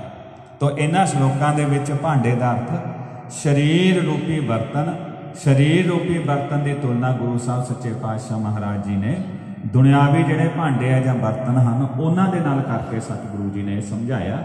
ਤੋ ਗੁਰੂ ਸਾਹਿਬ ਜੀ ਫਰਮਾ ਆਪੇ ਸਾਜਣ ਇਹ ਸਰੀਰ ਰੂਪੀ ਭਾਂਡਿਆਂ ਨੂੰ ਸਾਜਣ ਵਾਲਾ ਵੀ ਉਹ ਆਪ ਹੀ ਹੈ। ਆਪੇ ਪੂਰਨ ਦੇ ਇਹਨਾਂ ਨੂੰ ਪੂਰਨਤਾ ਬਖਸ਼ਿਸ਼ ਕਰਨ ਵਾਲਾ ਵੀ ਆਪ ਹੀ ਹੈ। ਇੱਕ ਨੇ ਦੁੱਧ ਸਮਾਈ ਹੈ, ਇੱਕ ਚੁੱਲ੍ਹਾ ਰਹਿਣ ਚੜੇ ਜਿਵੇਂ ਦੁਨਿਆਵੀ ਤੌਰ ਤੇ ਤੁਸੀਂ ਭਾਂਡਿਆਂ ਜਾਂ ਬਰਤਨਾਂ ਨੂੰ ਦੇਖਦੇ ਹੋ, ਕਈ ਬਰਤਨਾਂ ਦੇ ਵਿੱਚ ਦੁੱਧ ਹੁੰਦਾ ਹੈ। ਕਈ ਬਰਤਨ ਐਸੇ ਨੇ ਜਿਹੜੇ ਵਿਚਾਰੇ ਚੁੱਲ੍ਹੇ ਤੇ ਚੜੇ ਰਹਿੰਦੇ ਹਨ। ਕਈ ਬਰਤਨਾਂ ਨੂੰ ਵਧੀਆ ਵਧੀਆ ਪਦਾਰਥ ਪਾ ਕੇ ਰੱਖਣ ਲਈ ਵਰਤਿਆ ਜਾਂਦਾ ਹੈ। ਕਈ ਬਰਤਨਾਂ ਦੇ ਵਿੱਚ ਕੋਈ ਸਧਾਰਨ ਚੀਜ਼ਾਂ ਪਾਉਣੀਆਂ ਹੋਣ, ਉਹਨਾਂ ਦੀ ਨਾ ਚੱਜ ਨਾਲ ਸੰਭਾਲ ਕੀਤੀ ਜਾਂਦੀ ਆ ਤੇ ਨਾ ਉਹਨਾਂ ਨੂੰ ਚੱਜ ਨਾਲ ਦੇਖ ਕੇ ਕੋਈ ਹੋਰ ਉਹਨਾਂ ਦਾ ਹਿਸਾਬ ਕਿਤਾਬ ਜਿਹਾ ਰੱਖਿਆ ਜਾਂਦਾ। ਤਾਂ ਗੁਰੂ ਸਾਹਿਬ ਜੀ ਫਰਮਾਉਂਦੇ ਨੇ ਵੀ ਇਹ ਜਿਹੜੇ ਭਾਂਡੇ ਨੇ, ਇਸੇ ਤਰ੍ਹਾਂ ਮਨੁੱਖ ਦਾ ਸਰੀਰ ਹੈ। ਜਿਵੇਂ ਮਨੁੱਖ ਦਾ ਸਰੀਰ ਹੈ, ਕਈਆਂ ਨੂੰ ਤਾਂ ਇੱਥੇ ਬਹੁਤ ਵੱਡਾ ਸਤਿਕਾਰ, ਬਹੁਤ ਵੱਡਾ ਪਿਆਰ, ਬਹੁਤ ਵੱਡਾ ਅਦਬ ਤੇ ਕਈਆਂ ਦੇ ਨਾਲ ਇੱਥੇ ਬਹੁਤ ਕੁਝ ਐਸਾ ਹੁੰਦਾ ਹੈ, ਜਿਵੇਂ ਅੱਗ ਦੇ ਉੱਪਰ ਹੀ ਕੋਈ ਚੜਿਆ ਰਹੇ ਇਸ ਤਰ੍ਹਾਂ ਦੀ ਹਾਲਤ ਉਹਨਾਂ ਦੀ ਹੁੰਦੀ ਹੈ। ਤੋ ਸਰੀਰ ਰੂਪੀ ਭਾਂਡਿਆਂ ਦੇ ਬਾਰੇ ਆਪ ਜੀ ਦੱਸ ਰਹੇ ਹਨ। ਜਿਵੇਂ ਦੁਨਿਆਵੀ ਤੌਰ ਤੇ ਭਾਂਡੇ ਬਣਾਉਣ ਵਾਲਾ, ਜੋ ਭਾਂਡਿਆਂ ਨੂੰ ਸਿਰਜਣ ਵਾਲਾ, ਮਿੱਟੀ ਦੇ ਭਾਂਡੇ ਦੇਖੋ ਜਿਵੇਂ ਬਣਾਏ ਗਏ। ਇੱਕ ਮਿਹਾਰ ਹੈ, ਇੱਕ ਪੋਟਰ ਹੈ, ਜਿਹੜਾ ਉਹ ਭਾਂਡਿਆਂ ਨੂੰ ਬਣਾ ਰਿਹਾ। ਉਹ ਭਾਂਡੇ ਬਣਾਉਣ ਵਾਲਾ ਇੱਕੋ ਹੀ ਹੈ, ਮਿੱਟੀ ਵੀ ਇੱਕੋ ਹੀ ਹੈ। ਮਾਟੀ ਏਕ, ਅਨੇਕ ਭਾਂਤ ਕਰ ਸਾਜੇ ਸਾਜਣ ਹੈ। ਨਾ ਕਛ ਪੋਚ ਮਾਟੀ ਕੈ ਭਾਂਡੇ, ਨਾ ਕਛ ਪੋਚ ਕੁਮਾਰੈ। ਤੋ ਮਹਾਰਾਜ ਜੀ ਦਾ ਬਚਨ ਹੈ ਵੀ ਸਾਜਣ ਵਾਲਾ ਵੀ ਇੱਕੋ ਹੀ ਹੈ, ਮਿੱਟੀ ਵੀ ਇੱਕੋ ਹੀ ਉਹੀ ਪੰਜ ਤੱਤਾਂ ਤੋਂ ਸਾਰੇ ਬਣੇ ਹੋਏ ਹਨ। ਪਰ ਉਹ ਭਾਂਡੇ ਕਈ ਵਾਰੀ ਕਿਸੇ ਤਰ੍ਹਾਂ ਦੇ ਕੰਮ ਚ ਆ ਰਹੇ ਨੇ, ਕਈ ਵਾਰੀ ਕਿਸੇ ਤਰ੍ਹਾਂ ਦਾ। ਇਦਾਂ ਹੀ ਇੱਕ ਨੇ ਦੁੱਧ ਸਮਾਈ ਹੈ ਇੱਕ ਚੁੱਲ੍ਹਾ, ਰਹਿਣ ਚੜੇ। ਇੱਕ ਨਿਹਾਲੀ ਪੈ ਸਵਨ, ਇੱਕ ਉੱਪਰ ਰਹਿਣ ਖੜੇ। ਤਿੰਨਾ ਸਵਾਰੇ ਨਾਨਕਾ, ਜਿਨ ਕਉ ਨਦਰ ਕਰੇ। ਇੱਕ ਨਿਹਾਲੀ ਨਿਹਾਲੀ ਸ਼ਬਦ ਨਹੀਂ ਉਚਾਰਾਂਗੇ, ਆਪਾਂ ਸ਼ਬਦ ਉਚਾਰਾਂਗੇ। ਨਿਹਾਲੀ, ਬਹੁਵਚਨ। ਨਿਹਾਲੀ ਤੁਲਾਈਆਂ ਤੁਲਾਈਆਂ ਨੂੰ ਮਾਲਵੇ ਦੇ ਵਿੱਚ ਗਦੈਲੇ ਵੀ ਕਹਿ ਲੈਂਦੇ ਆ। ਆਪਾਂ ਗੱਦੇ ਵੀ ਕਹਿ ਲੈਂਦੇ ਹਾਂ। ਤੋ ਇੱਕ ਦਾ ਅਰਥ ਇੱਥੇ ਕਈ। ਦੇਖੋ, ਉਚਾਰਨ ਇੱਕ ਹੈ, ਆਵਾਜ਼ ਵੀ ਇੱਕ ਦੀ ਆ ਰਹੀ ਹੈ, ਸੁਣਨ ਵਿੱਚ ਵੀ ਲੱਗੇਗਾ, ਇੱਕ ਦੀ ਗੱਲ ਹੋ ਰਹੀ ਹੈ। ਪਰ ਜਦੋਂ ਲਿਖਤੀ ਰੂਪ ਦੇ ਵਿੱਚ ਦੇਖਾਂਗੇ, ਇੱਥੇ ਜੋ ਗੁਰੂ ਸਾਹਿਬ ਨੇ ਲਿਖਿਆ ਹੈ, ਈੜੀ ਨੂੰ ਸਿਹਾਰੀ ਤੇ ਕੱਕੇ ਨੂੰ ਸਿਹਾਰੀ, ਇੱਕ। ਇਹਦਾ ਅਰਥ ਹੋਵੇਗਾ ਬਹੁਤ। ਲਿਖਿਆ ਇੱਕ ਹੈ, ਪਰ ਮਾਤਰਾ ਸਾਨੂੰ ਲੱਗਿਆ ਹੋਇਆ ਦੱਸਣਗੀਆਂ। ਇਹਦਾ ਅਰਥ ਕੀ ਬਣਦਾ ਹੈ? ਈੜੀ ਨੂੰ ਸਿਹਾਰੀ, ਕੱਕਾ ਤੇ ਕੱਕੇ ਨੂੰ ਔਂਕੜ ਲੱਗਿਆ ਹੋਇਆ ਹੋਵੇ, ਫਿਰ ਇੱਕ ਦੀ ਗੱਲ ਹੋ ਰਹੀ ਹੈ। ਇੱਕ ਦੀ ਗੱਲ ਹੋ ਰਹੀ ਹੈ ਤੇ ਉੱਥੇ ਅਰਥ ਵੀ ਇੱਕ ਹੋਵੇਗਾ। ਈੜੀ ਨੂੰ ਸਿਹਾਰੀ ਕੱਕਾ, ਕੱਕੇ ਨੂੰ ਔਂਕੜ ਨਾ ਲੱਗਿਆ ਹੋਵੇ, ਕੱਲਾ ਈੜੀ ਨੂੰ ਸਿਹਾਰੀ ਕੱਕਾ ਇੱਕ ਹੋਵੇ। ਉਹ ਕਿਸੇ ਨਾ ਕਿਸੇ ਇਸਤਰੀ ਲਿੰਗ ਦੇ ਨਾਲ ਜਦੋਂ ਵਿਸ਼ੇਸ਼ਣ ਰੂਪ ਦੇ ਵਿੱਚ ਆਵੇਗਾ, ਤਾਂ ਉੱਥੇ, ਕਿਉਂਕਿ ਇਸਤਰੀ ਲਿੰਗ ਸ਼ਬਦ ਨੂੰ ਕਈ ਵਾਰੀ ਔਂਕੜ ਨਹੀਂ ਲੱਗਦਾ ਹੈ ਜਾਂ ਸਿਹਾਰੀ ਲੱਗੀ ਹੁੰਦੀ ਹੈ, ਤਾਂ ਉਹ ਇੱਕ ਵਿਸ਼ੇਸ਼ਣ ਰੂਪ ਦੇ ਵਿੱਚ ਗਿਣਤੀ ਦੱਸ ਰਿਹਾ, ਤਾਂ ਉਹਦੀ ਵੀ, ਉਹਦਾ ਔਂਕੜ ਉੱਡ ਜਾਂਦਾ। ਜਾਂ ਕਈ ਵਾਰੀ ਕੋਈ ਬਹੁ ਵਚਨ ਵਾਲੇ ਇਸ਼ਾਰਾ ਕੀਤਾ ਜਾ ਰਿਹਾ ਹੋਵੇ ਫੇਰ ਵੀ ਕਈ ਵਾਰੀ ਈੜੀ ਨੂੰ ਸਿਹਾਰੀ ਕੱਕਾ ਲਿਖਿਆ ਹੋਇਆ ਹੁੰਦਾ ਹੈ। ਤੇ ਜਦੋਂ ਈੜੀ ਨੂੰ ਸਿਹਾਰੀ ਤੇ ਕੱਕੇ ਨੂੰ ਸਿਹਾਰੀ, ਦੋਹਾਂ ਨੂੰ ਸਿਹਾਰੀ ਲੱਗੀ ਹੋਈ ਆ, ਉਚਾਰਨ ਇਹਦਾ ਇੱਕ ਹੀ ਹੋਵੇਗਾ, ਇੱਕ। ਪਰ ਅਰਥ ਹੋਵੇਗਾ ਇਹਦਾ ਬਹੁਤ। ਤੋ ਇੱਥੇ ਮਹਾਰਾਜ ਜੀ ਸਮਝਾ ਰਹੇ ਹਨ, ਇੱਕ ਨਿਹਾਲੀ ਪੈ ਸਵਣ। ਬਹੁਤ ਜੀਵ ਐਸੇ ਨੇ, ਕਈ ਜੀਵ ਐਸੇ ਹਨ ਜਿਹੜੇ ਨਿਹਾਲੀ ਤਲਾਈਆਂ ਦੇ ਉੱਪਰ, ਵਧੀਆ ਗੱਦਿਆਂ ਦੇ ਉੱਪਰ, ਮੈਟਰਸ ਦੇ ਉੱਪਰ ਪਏ ਨੇ। ਇੱਕ ਉੱਪਰ ਰਹਿਣ ਖੜੇ ਇੱਕ ਉਹਨਾਂ ਦੀ ਸੇਵਾ ਉੱਪਰ ਖੜੇ ਹਨ। ਭਾਵ ਸੁਚੇਤ, ਅਲਰਟ ਹੋ ਕੇ ਉਹਨਾਂ ਦੀ ਸੇਵਾ ਲਈ ਖੜੇ ਹੈ ਦੇਖੋ, ਹੈ ਉਹ ਵੀ ਮਨੁੱਖ ਹੈ ਜਿਹੜਾ ਵਧੀਆ ਘਰ ਦੇ ਵਿੱਚ ਬੈਠਾ, ਆਰਾਮ ਕਰ ਰਿਹਾ, ਗਰਮੀ ਹੈ ਜਾਂ ਸਰਦੀ ਹੈ, ਉਹਦੇ ਮੁਤਾਬਕ ਉਹਨੂੰ ਸਹੂਲਤ ਹੈ ਤੇ ਉਹ ਆਪਣੇ ਘਰ ਨੂੰ ਠੰਡਾ ਕਰਿਆ ਹੋਇਆ ਹੈ, ਆਪਣੇ ਰੂਮ ਨੂੰ, ਜਾਂ ਉਹਨੇ ਆਪਣੇ ਰੂਮ ਦੇ ਵਿੱਚ ਹੀਟ ਲਗਾਈ ਹੋਈ ਹੈ, ਤਾਂ ਜੋ ਆਰਾਮ ਨਾਲ ਨੀਂਦ ਆ ਸਕੇ। ਹੈ ਉਹ ਵੀ ਇਨਸਾਨ, ਪਰ ਇੱਕ ਇਨਸਾਨ ਉਸੇ ਘਰ ਦੇ ਕੋਠੀ ਦੇ ਬਾਹਰ ਪਹਿਰਾ ਦੇ ਰਿਹਾ ਹੈ ਜੇ ਗਰਮੀ ਹੈ, ਤਾਂ ਗਰਮੀ ਦੇ ਵਿੱਚ ਮੱਛਰ ਆਦਿਕ ਜਾਂ ਜੋ ਵੀ ਕੁਝ ਹੈ, ਉਹਨੂੰ ਉਹਦਾ ਸਾਹਮਣਾ ਕਰਨਾ ਪੈ ਰਿਹਾ। ਜੇ ਸਰਦੀ ਹੈ, ਤਾਂ ਉਹ ਠੰਡ ਦੇ ਵਿੱਚ ਬਾਹਰ ਖਲੋਤਾ, ਕੱਪੜੇ ਮੋٹے ਪਾ ਲਏਗਾ, ਅੱਗ ਦਾ ਸੇਕ ਲੈਣ ਦਾ ਯਤਨ ਕਰੇਗਾ, ਆਪਣੇ ਸਰੀਰ ਨੂੰ ਕਿਸੇ ਤਰੀਕੇ ਨਾਲ ਵਾਰਮ ਰੱਖਣ ਦਾ ਯਤਨ ਕਰੇਗਾ। ਪਰ ਹੈ ਉਹ ਵੀ ਇਨਸਾਨ ਹੈ, ਜਿਹੜਾ ਬਾਹਰ ਖੜ ਕੇ ਪਹਿਰਾ ਦੇ ਰਿਹਾ। ਇੱਕ ਉਹ ਹੈ ਜਿਹੜਾ ਸੌਂ ਰਿਹਾ, ਇੱਕ ਉਹ ਹੈ ਜਿਹੜਾ ਜਾਗ ਰਿਹਾ ਉਹਦੀ ਸੇਵਾ ਦੇ ਲਈ। ਇੱਕ ਉਹ ਹੈ ਜਿਹੜੇ ਬੰਦੇ ਨੇ ਆਪਣੇ ਆਪ ਨੂੰ ਸਮਾਜ ਦੇ ਵਿੱਚ ਜਾਂ ਵਿਚਰਿਆ ਖਾਸ ਤੌਰ ਤੇ ਲੀਡਰ ਆਦਿਕ ਜਾਂ ਕੋਈ ਵਿਸ਼ੇਸ਼ ਸ਼ਖਸੀਅਤ ਆ। ਇੱਕ ਉਹ ਨੇ ਜਿਹੜੇ ਉਹਨਾਂ ਦੀ ਬਾਡੀ ਨੂੰ ਗਾਰਡ ਬਣ ਕੇ ਗਾਰਡ ਕਰ ਕਰ ਰਹੇ ਨੇ, ਜਿਹੜੇ ਉਹਦੀ ਹਿਫਾਜ਼ਤ ਕਰ ਰਹੇ ਨੇ। ਹੈ ਉਹ ਵੀ ਮਨੁੱਖ ਨੇ। ਕੋਈ ਵੀ ਆਫਤ ਆਉਂਦੀ ਹੈ, ਕੋਈ ਵੀ ਗੱਲ ਹੁੰਦੀ ਹੈ, ਤਾਂ ਜਿਹੜਾ ਮੇਨ ਬੰਦਾ ਉਹਨੂੰ ਲੁਕਾ ਕੇ ਉਹਨੂੰ ਅੱਗੇ ਪਿੱਛੇ ਆਪਣੇ ਕਰਕੇ ਉਹ ਜਿਹੜੇ ਪਹਿਰਾ ਦੇਣ ਵਾਲੇ ਨੇ, ਉਹਨਾਂ ਦੇ ਗੋਲੀ ਵੱਜ ਜਾਏ, ਕਹਿੰਦੇ ਕੋਈ ਗੱਲ ਨਹੀਂ, ਇਹਦੇ ਨਹੀਂ ਵੱਜਣੀ ਚਾਹੀਦੀ। ਹੈ ਉਹ ਵੀ ਮਨੁੱਖ ਹੈ। ਇੱਕ ਆਰਾਮ ਕਰਨ ਵਾਲਾ, ਉਹ ਵੀ ਮਨੁੱਖ ਹੈ। ਦੂਜਾ, ਉਹਦੇ ਆਰਾਮ ਦੇ ਵਿੱਚ ਵੀ ਵਿਗਨ ਨਾ ਪਏ ਆਲੇ ਦਾਲੇ ਸੇਵਾ ਕਰਦਾ ਫਿਰ ਰਿਹਾ, ਉਹ ਵੀ ਉਹੀ ਮਨੁੱਖ ਹੈ। ਤੋਂ ਆਪ ਜੀ ਦੱਸਦੇ ਹਨ, ਦੇਖੋ ਇਨਸਾਨ ਇੱਕੋ ਹੀ ਨੇ। ਕਿਸ ਤਰ੍ਹਾਂ ਦੇ ਨਾਲ ਉਹ ਦੁਨੀਆ 'ਚ ਵਰਤਾਰਾ ਵਰਤ ਰਿਹਾ। ਪਿਆਰਿਓ, ਇੱਕ ਨਿਹਾਲੀ ਪੈ ਸਵਣ, ਇੱਕ ਉੱਪਰ ਰਹਿਣ ਖੜੇ, ਕਿਹੋ ਜੀ ਮਾਲਕ ਨੇ ਰਚਨਾ ਰਚੀ ਹੈ? ਤਿੰਨਾ ਸਵਾਰੇ ਨਾਨਕਾ, ਜਿਨ ਕਉ ਨਦਰ ਕਰੇ हे ਨਾਨਕ, ਜਿਨ੍ਹਾਂ ਤੇ ਮੇਰੇ ਮਾਲਕ ਦੀ ਨਦਰ ਮਿਹਰ ਭਰੀ ਨਿਗਾਹ ਬਖਸ਼ਿਸ਼ ਹੁੰਦੀ ਹੈ, ਉਹਨਾਂ ਦੇ ਜੀਵਨ ਨੂੰ ਉਹ ਸਵਾਰ ਦਿੰਦਾ ਹੈ। ਉਹਨਾਂ ਦਾ ਜਨਮ ਸਫਲਾ ਹੁੰਦਾ ਹੈ, ਤਾਂ ਉਹਦੀ ਬਖਸ਼ਿਸ਼ ਭਰੀ ਨਿਗਾਹ ਲੈਣ ਦਾ ਹੀ ਆਪਾਂ ਨੇ ਯਤਨ ਕਰਨਾ ਹੈ। ਬਾਕੀ ਡਿਊਟੀਆਂ ਨੇ, ਕੋਈ ਕਿਤੇ ਡਿਊਟੀ ਦੇ ਰਿਹਾ, ਕੋਈ ਕਿਤੇ ਦੇ ਰਿਹਾ ਹੈ। ਆਪੋ ਆਪਣਾ ਕੰਮ ਕਰ ਰਹੇ ਨੇ, ਸਾਰੇ ਪਸਾਰੇ ਦੇ ਵਿੱਚ ਕੋਈ ਐਸੇ ਨੇ ਜਿਨ੍ਹਾਂ ਦੇ ਵਿੱਚ ਦੁੱਧ ਰੱਖਿਆ ਹੋਇਆ, ਕੋਈ ਐਸੇ ਨੇ ਜਿਹੜੇ ਚੁੱਲ੍ਹੇ ਤੇ ਚੜੇ ਤਰ੍ਹਾਂ ਤਪਦੇ ਰਹਿੰਦੇ ਹਨ, ਕੋਈ ਐਸੇ ਨੇ ਜਿਹੜੇ ਤਲਾਈਆਂ ਤੇ ਆਰਾਮ ਕਰ ਰਹੇ ਨੇ, ਕੋਈ ਐਸੇ ਨੇ ਜਿਹੜੇ ਉਹਨਾਂ ਦੇ ਘਰਾਂ ਦੇ ਬਾਹਰ ਪਹਿਰਾ ਦੇ ਰਹੇ ਹਨ। ਪਰ ਇਹ ਸਾਰੇ ਪਸਾਰੇ ਦੇ ਵਿੱਚ ਸਫਲਾ ਉਹ ਹੈ ਜਿਤੇ ਮਾਲਕ ਦੀ ਮਿਹਰ ਭਰੀ ਨਿਗਾਹ ਹੋ ਜਾਏ। ਤਾਂ ਉਹਦੀ ਬਖਸ਼ਿਸ਼ ਲੈਣ ਦਾ ਹੀ ਯਤਨ ਕਰਨਾ ਚਾਹੀਦਾ ਹੈ। ਮਹਿਲਾ ਦੂਜਾ, ਆਪੇ ਸਾਜੇ ਕਰੇ ਆਪ। ਜਾਈ ਪੇ ਰਖੈ ਆਪ, ਤਿਸ ਵਿੱਚ ਜੰਤ ਉਪਾਇ ਕੈ, ਦੇਖੈ ਥਾਪ ਉਥਾਪ। ਤੋ ਮੇਰੇ ਪਾਸ਼ਾ ਬਖਸ਼ਿਸ਼ ਕਰ ਰਹੇ ਨੇ, ਮਹਿਲਾ ਦੂਜਾ। ਹੁਣ ਇਹ ਦੂਸਰੇ ਪਾਤਸ਼ਾਹ ਜੀ ਦਾ ਸ਼ਲੋਕ ਹੈ ਨਾਲ, ਆਪੇ ਸਾਜੇ ਕਰੇ ਆਪ, ਸਾਜਣ ਵਾਲਾ ਵੀ ਆਪ ਹੈ। ਕਰਨ ਵਾਲਾ, ਬਣਾਉਣ ਵਾਲਾ ਵੀ ਸਾਰਿਆਂ ਨੂੰ ਆਪ ਹੈ। ਜਾਈ ਭੇ ਰੱਖੈ ਆਪ, ਜਾਈ ਦਾ ਅਰਥ ਹੁੰਦਾ ਜਨਮ ਦੇਣਾ। ਜਨਮ ਦੇਣ ਵਾਲਾ, ਸ੍ਰਿਸ਼ਟੀ ਨੂੰ ਪੈਦਾ ਕਰਨ ਵਾਲਾ, ਉਹ ਵੀ ਆਪ ਹੈ। ਉਹਨੂੰ ਰੱਖਣ ਵਾਲਾ, ਉਹਦੀ ਹਿਫਾਜ਼ਤ ਕਰਨ ਵਾਲਾ ਉਹ ਵੀ ਆਪ ਹੈ। ਸਾਜਣ ਵਾਲਾ ਵੀ ਆਪ, ਚਲਾਉਣ ਵਾਲਾ ਵੀ ਆਪ ਲੈ ਕਰਨ ਵਾਲਾ ਵੀ ਆਪ। ਤੋ ਇਥੋਂ ਸਾਰੀ ਇੱਕ ਓੰਕਾਰ ਦੀ ਵਿਆਖਿਆ ਵੀ ਇੱਕੋ ਹੀ ਹੈ। ਆਪ ਜੇ ਆਪੇ ਰੰਗੇ, ਆਪੇ ਨਦਰ ਕਰੇ। ਸਭ ਕੁਝ ਕਰਨ ਵਾਲਾ ਹੋ ਆਪ ਹੀ ਆ, ਕੋਈ ਦੂਜਾ ਹੈ ਨਹੀਂ। ਆਦ ਪੂਰਨ ਮਦ ਪੂਰਨ, ਅੰਤ ਪੂਰਨ ਪਰਮੇਸ਼ਰ।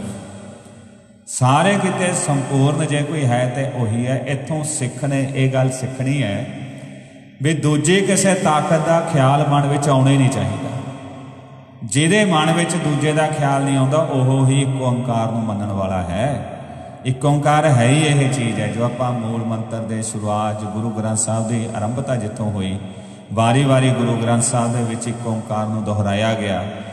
ਜਿੰਨੇ ਬਾਣੀ ਦੇ ਵਿੱਚ ਮੁੱਖ ਬਾਣੀਆਂ ਆਈਆਂ, ਹਰ ਇੱਕ ਬਾਣੀ ਦੇ ਅੱਗੇ ਜੋ ਮੰਗਲਾਚਰਨ ਲਿਖਿਆ ਗਿਆ, ਇੱਕ ਓੰਕਾਰ ਪਹਿਲਾਂ ਲਿਖਿਆ ਉਹਦੇ 'ਚ। ਭਾਵ ਤੁਸੀਂ ਜਿੰਨਾ ਵੀ ਗੁਰਬਾਣੀ ਨੂੰ ਵਿਚਾਰਨਾ, ਜਿੰਨਾ ਵੀ ਸੋਚਣਾ, ਇੱਕ ਓੰਕਾਰ ਦੇ ਨਜ਼ਰੀਏ ਤੋਂ ਸੋਚਣਾ। ਤੇ ਮੈਂ ਵਿਚਾਰ ਨੂੰ ਹੁਣ ਕੁਝ ਪਿੱਛੇ ਲੈ ਜਾਵਾਂ ਆਪ ਸੰਗਤਾਂ ਜਿਨ੍ਹਾਂ ਨੇ ਲੜੀਵਾਰ ਕਥਾ ਸਰਵਣ ਕੀਤੀ ਹੈ। ਉਹਨਾਂ ਦੇ ਯਾਦ ਹੋਵੇਗਾ ਕਿ ਇੱਕ ਆਸਾ ਕੀ ਵਾਰ ਦੀ ਭੂਮਿਕਾ ਦੇ ਵਿੱਚ ਜਿਹਨੂੰ ਪੁਰਾਤਨ ਸ਼ਬਦਾਂ ਮੁਤਾਬਕ ਉਥਾਨਕਾ ਕਹਿੰਦੇ ਆ, ਇੱਕ ਪਲਾਟ ਕਹਿੰਦੇ ਆ ਜਿਸ ਦੇ ਉੱਪਰ ਇਹ ਸਾਰੀ ਬਾਣੀ ਰਚੀ ਗਈ। ਉਹ ਇਹੀ ਸੀ, ਗੁਰੂ ਨਾਨਕ ਦੇਵ ਮਹਾਰਾਜ ਜੀ ਭਾਈ ਮਰਦਾਨਾ ਜੀ ਪਾਕ ਪਟਣ ਗਏ। ਉੱਥੇ ਜੰਗਲ ਦੇ ਵਿੱਚ ਇੱਕ ਪਾਸੇ ਕਾਂਤ ਦੇ ਵਿੱਚ ਬੈਠੇ ਸਿਮਰ ਰਹੇ ਸਨ। ਏਕੋ ਕਹੀਏ ਨਾਨਕਾ, ਦੂਜਾ ਕਾਹੇ ਕੋ। ਜਦੋਂ ਉਹਨਾਂ ਨੇ ਇਹ ਗੱਲ ਕਹੀ ਤਾਂ ਇੱਕ ਮਨੁੱਖ ਨੇ ਇਹ ਗੱਲ ਸੁਣੀ, ਉਹ ਕਹਿੰਦੇ, ਇੱਕੋ ਹੀ ਆ, ਦੂਜਾ ਤਾਂ ਹੈ ਹੀ ਨਹੀਂ। ਤਾਂ ਜਾ ਕੇ ਸ਼ੇਖ ਬ੍ਰਹਮ ਨੂੰ ਦੱਸਿਆ, ਸ਼ੇਖ ਬ੍ਰਹਮ, ਸ਼ੇਖ ਇਬਰਾਹੀਮ ਬਾਬਾ ਫਰੀਦ ਸਾਹਿਬ ਦੀ ਗੱਦੀ ਤੇ 11ਵੀਂ ਥਾਂ ਦੇ ਉੱਪਰ ਕਿਉਂਕਿ ਫਰੀਦ ਸਾਹਿਬ ਜੀ ਤਾਂ 11ਵੀਂ ਸਦੀ 'ਚ ਹੋ ਚੁੱਕੇ ਸਨ। ਤੋ ਉਹਨਾਂ ਦੀ ਗੱਦੀ ਚੱਲ ਰਹੀ ਸੀ, ਜਿਸ ਵੇਲੇ ਗੁਰੂ ਨਾਨਕ ਸਾਹਿਬ ਹੋਏ ਹਨ। ਤੇ ਮਹਾਰਾਜ ਜੀ ਦੇ ਉਹਨੇ ਜਾ ਕੇ ਦੱਸਿਆ ਵੀ ਇਦਾਂ ਦਾ ਕੋਈ ਫਕੀਰ ਹੈ ਜਿਹੜਾ ਇੱਕੇ ਇੱਕ ਕਹਿ ਰਿਹਾ ਬਸ।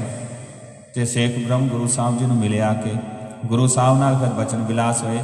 ਕਹਿੰਦੇ, ਤੁਸੀਂ ਕਹਿੰਦੇ ਹੋ ਇੱਕ ਹੈ। ਤੇ ਜਿਹੜੀ ਜਗਤ ਦੀ ਰਚਨਾ ਦੋ ਬਿਨਾ ਹੋ ਨਹੀਂ ਸਕਦੀ।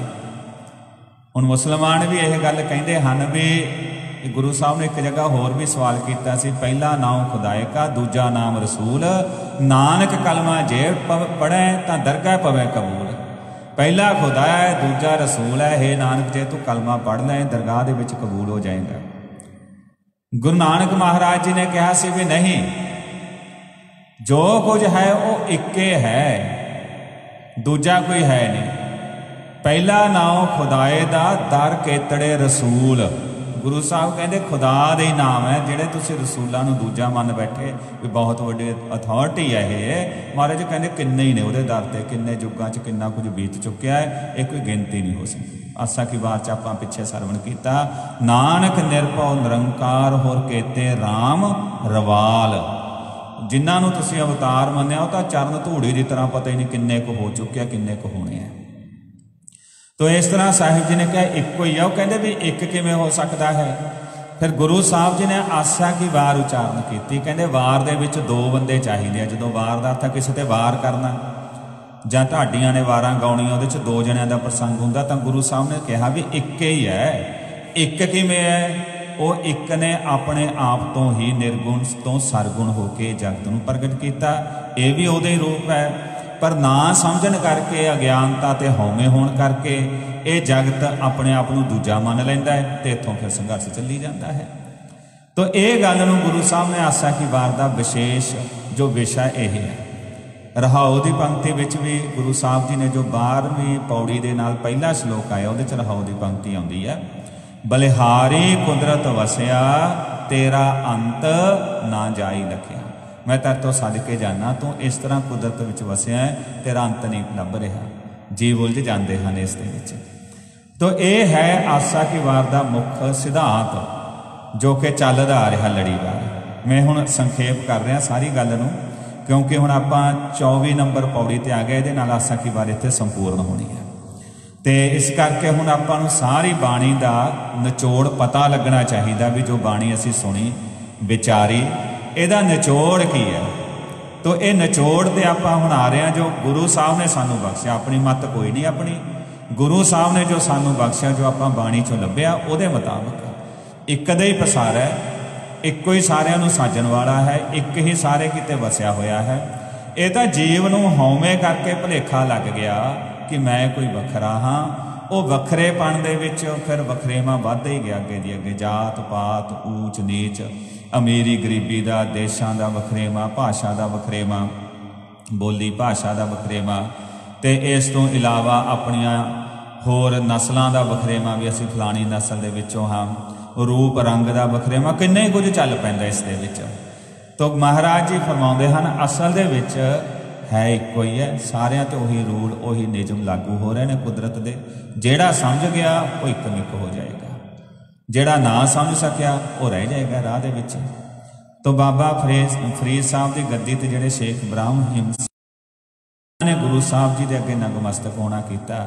ਗੁਰੂ ਮਹਾਰਾਜ ਸੱਚੇ ਪਾਤਸ਼ਾਹ ਨੂੰ ਫਿਰ ਬਾਬਾ ਫਰੀਦ ਸਾਹਿਬ ਦੀ ਬਾਣੀ ਸੁਣਾਈ, ਜਿਹੜੀ ਗੁਰੂ ਨਾਨਕ ਦੇਵ ਮਹਾਰਾਜ ਜੀ ਨੇ ਉਸੇ ਵੇਲੇ ਆਪਣੀ ਪੋਥੀ ਵਿੱਚ ਨੋਟ ਕਰ ਲਈ ਤੇ ਅੱਜ ਗੁਰੂ ਗ੍ਰੰਥ ਸਾਹਿਬ 'ਚ ਜੋ ਆਪਾਂ ਬਾਬਾ ਫਰੀਦ ਸਾਹਿਬ ਦੀ ਬਾਣੀ ਦਾ ਪਾਠ ਕਰਦੇ ਆ, ਇਹ ਗੁਰੂ ਨਾਨਕ ਸਾਹਿਬ ਸੱਚੇ ਪਾਤਸ਼ਾਹ ਨੇ ਆਪ ਨੋਟ ਕਰਕੇ ਲਿਖੀ ਤੇ ਆਪਣੇ ਨਾਲ ਲੈ ਕੇ ਆਏ ਸਨ।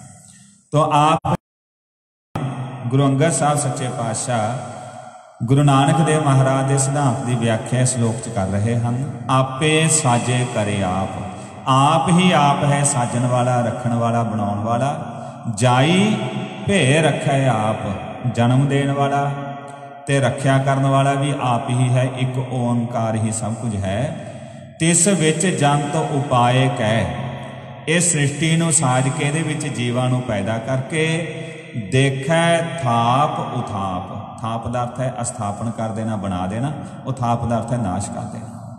ਦੇਖੇ ਤੋਂ ਅਰਥ ਹੁੰਦਾ ਹੈ ਸੰਭਾਲ ਕਰਨੀ। ਦੇਖੇ ਤੋਂ ਅਰਥ ਇੱਕ ਆਪਾਂ ਨੂੰ ਇਹ ਵੀ ਬਹੁਤ ਵੱਡਾ ਭੁਲੇਖਾ ਲੱਗਦਾ ਹੈ। ਦੇਖੇ ਦਾ ਅਰਥ ਕੇਵਲ ਦੇਖਣਾ ਨਹੀਂ ਹੈ ਵਾਚ ਕਰਨਾ ਨਹੀਂ ਹੈ, ਜਿਵੇਂ ਕਿਸੇ ਨੂੰ ਕਹੀਏ ਵੀ ਕੋਈ ਦੇਖ ਰਿਹਾ। ਨੋ ਇਹ ਅਰਥ ਨਹੀਂ ਹੈ। ਦੇਖਣ ਦਾ ਅਰਥ ਜਦੋਂ ਗੁਰਬਾਣੀ ਵਿੱਚ ਆਏਗਾ, ਬਹੁਤ ਵਾਰੀ ਇੱਕ ਤਾਂ ਦੇਖੋ ਸਿੱਧਾ ਸਾ ਹੋਇਆ ਅੱਖੀਂ ਦੇਖਣਾ, ਰੱਜੀਆਂ ਬਹੁ ਰੰਗ ਤਮਾਸ਼ੇ ਅੱਖਾਂ ਨਾਲ ਦੇਖਣਾ, ਉਹ ਦੇਖਣਾ ਹੋਰ ਹੈ। ਜਦੋਂ ਰੱਬ ਜੀ ਵੱਲੋਂ ਦੇਖਣ ਦੀ ਗੱਲ ਆਵੇਗੀ ਤਾਂ ਉੱਥੇ ਉਹਦਾ ਅਰਥ ਹੋਵੇਗਾ ਸੰਭਾਲ ਕਰਨੀ। ਜਿਵੇਂ ਕਿ ਕਈ ਵਾਰੀ ਮਨੁੱਖ ਦੂਜੇ ਨੂੰ ਕਹਿੰਦਾ, ਇੱਕ ਬੰਦਾ ਕਿਤੇ ਬੈਠਾ ਹੈ ਜਾਂ ਬੀਬੀਆਂ ਭੈਣਾਂ ਘਰ ਦੇ ਵਿੱਚ ਕੰਮ ਕਰ ਰਹੀਆਂ ਨੇ। ਕੰਮ ਕਰਦੇ ਹੋਏ ਭੈਣ ਨੇ ਬੀਬੀ ਨੇ ਕਿਤੇ ਦੁੱਧ ਡੱਬੇ 'ਚ ਪਾ ਕੇ ਗੈਸ ਉੱਪਰ ਰੱਖ ਦਿੱਤਾ। ਕੋਈ ਕੰਮ ਸੀਗਾ, ਉਹਨੇ ਉਹ ਕੰਮ ਕਰਨ ਲੱਗੀ ਤੇ ਦੂਸਰੀ ਘਰ ਦੀ ਬੀਬੀ ਨੂੰ ਕਹਿ ਦਿੱਤਾ, ਕਹਿੰਦੀ, ਭੈਣੇ ਆ ਦੇਖੀ ਦੁੱਧ ਚੁੱਲ੍ਹੇ ਤੇ ਰੱਖਿਆ ਹੋਇਆ ਹੈ। ਹੁਣ ਉਹ ਆਪਣੇ ਕੰਮ ਵਿੱਚ ਰੁੱਝ ਗਈ। ਹੁਣ ਚੁੱਲ੍ਹੇ ਦੇ ਵਿੱਚ ਦੁੱਧ ਨੂੰ ਉਬਾਲੀ ਆ ਗਈ, ਦੁੱਧ ਉਬਲ ਗਿਆ ਤੇ ਸਾਰਾ ਚੁੱਲ੍ਹਾ ਖਰਾਬ ਹੋ ਗਿਆ, ਦੁੱਧ ਖਰਾਬ ਹੋ ਗਿਆ ਤੇ ਉਹ ਭੱਜ ਕੇ ਆਈ। ਉਹ ਕਹਿੰਦੀ ਆ ਕੀ ਹੋਇਆ? ਦੂਸਰੀ ਕਹਿੰਦੀ ਵੀ, ਤੂੰ ਮੈਨੂੰ ਕਿਹਾ ਸੀ ਦੇਖੀ ਤੇ ਮੈਂ ਦੇਖਦੀ ਰਹੀ। ਹੁਣ ਦੱਸੋ ਵੀ ਇਹ ਅਰਥ ਸਹੀ ਬਣੇਗਾ? ਨਹੀਂ ਉਹਦਾ ਭਾਵ ਸੀ ਵੀ ਦੇਖੀ ਦੇਖਣ ਤੋਂ ਮਤਲਬ ਸੰਭਾਲ ਰੱਖੀ ਵੀ ਮੈਂ ਇਹ ਰੱਖ ਦਿੱਤਾ, ਹੁਣ ਤੂੰ ਸੰਭਾਲ ਰੱਖੀ। ਕੋਈ ਵੀ ਕੰਮ ਜਦੋਂ ਆਪਾਂ ਬਹੁਤ ਵਾਰੀ ਕਰਦੇ ਆਪਾਂ ਦੂਜੇ ਨੂੰ ਦੇਖੀ ਕਿਤੇ ਇਦਾਂ ਕਰ ਦੇਵੇਂ ਭਾਵ ਸੰਭਾਲ ਕਰੀਏ ਇਸ ਚੀਜ਼ ਦੀ, ਧਿਆਨ ਰੱਖਣਾ, ਸੰਭਾਲ ਕਰਨੀ, ਦੇਖਣਾ। ਜਦੋਂ ਆਪਾਂ ਕਹਿੰਦੇ ਰੱਬ ਦੇਖਦਾ ਹੈ, ਰੱਬ ਦੇਖਦਾ ਹੈ ਤਾਂ ਭਾਵ ਅਸੀਂ ਇਹ ਸਮਝਦੇ ਵੀ ਰੱਬ ਦੇਖ ਰਿਹਾ, ਨਹੀਂ, ਪਰਮਾਤਮਾ ਸੰਭਾਲ ਕਰ ਰਿਹਾ। ਬਾਣੀ ਦੇ ਵਿੱਚ ਜਿੱਥੇ ਲਿਖਿਆ ਵੇਖਿਆ ਜਾਂ ਦੇਖਿਆ ਸ਼ਬਦ ਆਏਗਾ, ਰੱਬ ਪ੍ਰਤੀ। ਤਾਂ ਆਮ ਤੌਰ ਤੇ ਅਰਥ ਉੱਥੇ ਆਏਗਾ ਸੰਭਾਲ ਕਰਨੀ। ਤਾਂ ਮੇਰੇ ਪਾਤਸ਼ਾਹ ਜੀ ਫਰਮਾ ਰਹੇ ਹਨ, ਤਿਸ ਵਿੱਚ ਜੰਤ ਉਪਾਏ ਕਹਿ ਦੇਖੈ ਥਾਪ ਉਥਾਪ। ਜੀਵਾਂ ਨੂੰ ਸ੍ਰਿਸ਼ਟੀ 'ਚ ਪੈਦਾ ਕਰਕੇ ਉਹਨਾਂ ਦੀ ਸੰਭਾਲ ਪੈਦਾ ਕਰਨਾ, ਖਤਮ ਕਰਨਾ, ਸੰਭਾਲ ਕਰਨੀ। ਇਹ ਸਾਰਾ ਕੁਝ ਮਾਲਕ ਆਪ ਹੀ ਕਰ ਰਿਹਾ ਹੈ। ਕਿਸਨੂੰ ਕਹੀਏ ਨਾਨਕਾ ਸਭ ਕਿਛ ਆਪੇ ਆਪ। ਤਾਂ ਮੇਰੇ ਪਾਤਸ਼ਾਹ ਜੀ ਫਰਮਾ ਰਹੇ ਹਨ ਜਦੋਂ ਸਾਰਾ ਕੁਝ ਆਪ ਹੀ ਆਪ ਹੈ, ਪੈਦਾ ਕਰਨ ਵਾਲਾ ਵੀ ਆਪ, ਉਹਨੂੰ ਦੇਖਣ ਵਾਲਾ, ਭਾਵ ਸੰਭਾਲ ਕਰਨ ਵਾਲਾ ਵੀ ਆਪ ਆਪ, ਉਥਾਪਣ ਵਾਲਾ, ਲੈ ਕਰਨ ਵਾਲਾ ਵੀ ਆਪ। ਫਿਰ ਉਹਨੂੰ ਛੱਡ ਕੇ ਕਿਸ ਕਹੀਏ, ਨਾਨਕਾ, ਕੋਈ ਫਰਿਆਦ, ਕੋਈ ਅਰਦਾਸ, ਕੋਈ ਬੇਨਤੀ, ਫਿਰ ਕਿਹਦੇ ਕੋਲੇ ਕਰੀਏ? ਫਿਰ ਤਾਂ ਦੂਜਾ ਕੋਈ ਹੈ ਹੀ ਨਹੀਂ ਜਿਹਦੇ ਕੋਲੇ ਅਰਦਾਸ ਕੀਤੀ ਜਾ ਸਕੇ। ਇਹਦਾ ਮਤਲਬ ਫਿਰ ਇੱਕ ਦੇ ਅੱਗੇ ਹੀ ਬੇਨਤੀ ਕਰੋ, ਆਪਣੇ ਮਨ ਦੀ ਵਿਅਥਾ ਜੋ ਵੀ ਕੁਝ ਹੈ, ਉਸ ਇੱਕ ਦੇ ਅੱਗੇ ਹੀ ਤੁਸੀਂ ਰੱਖਣੀ ਕਰੋ, ਉਹਦੇ ਪ੍ਰਤੀ ਹੀ ਇਮਾਨਦਾਰ ਹੋ ਕੇ ਚੱਲਣ ਦਾ ਯਤਨ ਕਰੋ। ਇੱਕ ਦਾ ਖਿਆਲ ਹੀ ਸਿੱਖ ਦੇ ਜੀਵਨ ਦੇ ਵਿੱਚ ਆਵੇ, ਇੱਕ ਓੰਕਾਰ। ਇੱਕ ਦੇ ਪ੍ਰਤੀ ਹੀ ਆਪਣੇ ਜੀਵਨ ਦੇ ਵਿੱਚ ਇਮਾਨਦਾਰੀ ਆਪਾਂ ਨੇ ਲੈ ਕੇ ਆਉਣੀ ਹੈ। ਇਹ ਗੁਰਮਤ ਦਾ ਮਾਰਗ ਹੈ ਗੁਰਮੁਖ ਪਿਆਰਿਓ। ਜਦੋਂ ਕਿਤੇ ਵੀ ਆਪਾਂ ਥਿੜਕਦੇ ਹਾਂ ਜਾਂ ਆਪਾਂ ਨੂੰ ਲੱਗਦਾ ਕੋਈ ਗੱਲ ਉਹ ਦੁਵੈਤ ਜਿੱਥੇ ਆ ਗਈ, ਉੱਥੇ ਆਪਾਂ ਉਲਝ ਜਾਵਾਂਗੇ, ਉੱਥੇ ਗੱਲ ਨਹੀਂ ਬਣੇਗੀ। ਤਾਂ ਦੁਵੈਤ ਨਹੀਂ ਲੈ ਕੇ ਆਉਣੀ, ਇੱਕ ਦਾ ਹੀ ਖਿਆਲ, ਇੱਕ ਨੂੰ ਹੀ ਆਪਣੇ ਜੀਵਨ 'ਚ ਲੈ ਕੇ ਆਉਣਾ ਤੇ ਉਸ ਇੱਕ ਦੇ ਪ੍ਰਤੀ ਇਮਾਨਦਾਰ ਰਹਿ ਕੇ ਚੱਲਣਾ। ਤੇ ਚੱਲਣਾ ਵੀ ਕੀ ਮਤਲਬ? ਆਪਣੇ ਆਪ ਨੂੰ ਵੀ ਉਸ ਇੱਕ ਦੇ ਰੂਪ ਜਾਣਨਾ, ਬਾਕੀ ਜਗਤ ਨੂੰ ਵੀ ਉਸ ਇੱਕ ਦੇ ਰੂਪ ਜਾਣਨਾ। ਤੇ ਇਦਾਂ ਦੀ ਬਿਰਤੀ ਬਣਾ ਕੇ ਅਖੀਰ ਇਸ ਸੰਸਾਰ 'ਚ ਉਸ ਇੱਕ ਦੇ ਦਰਸ਼ਨ ਕੀਤੇ ਜਾ ਸਕਦੇ ਹਨ।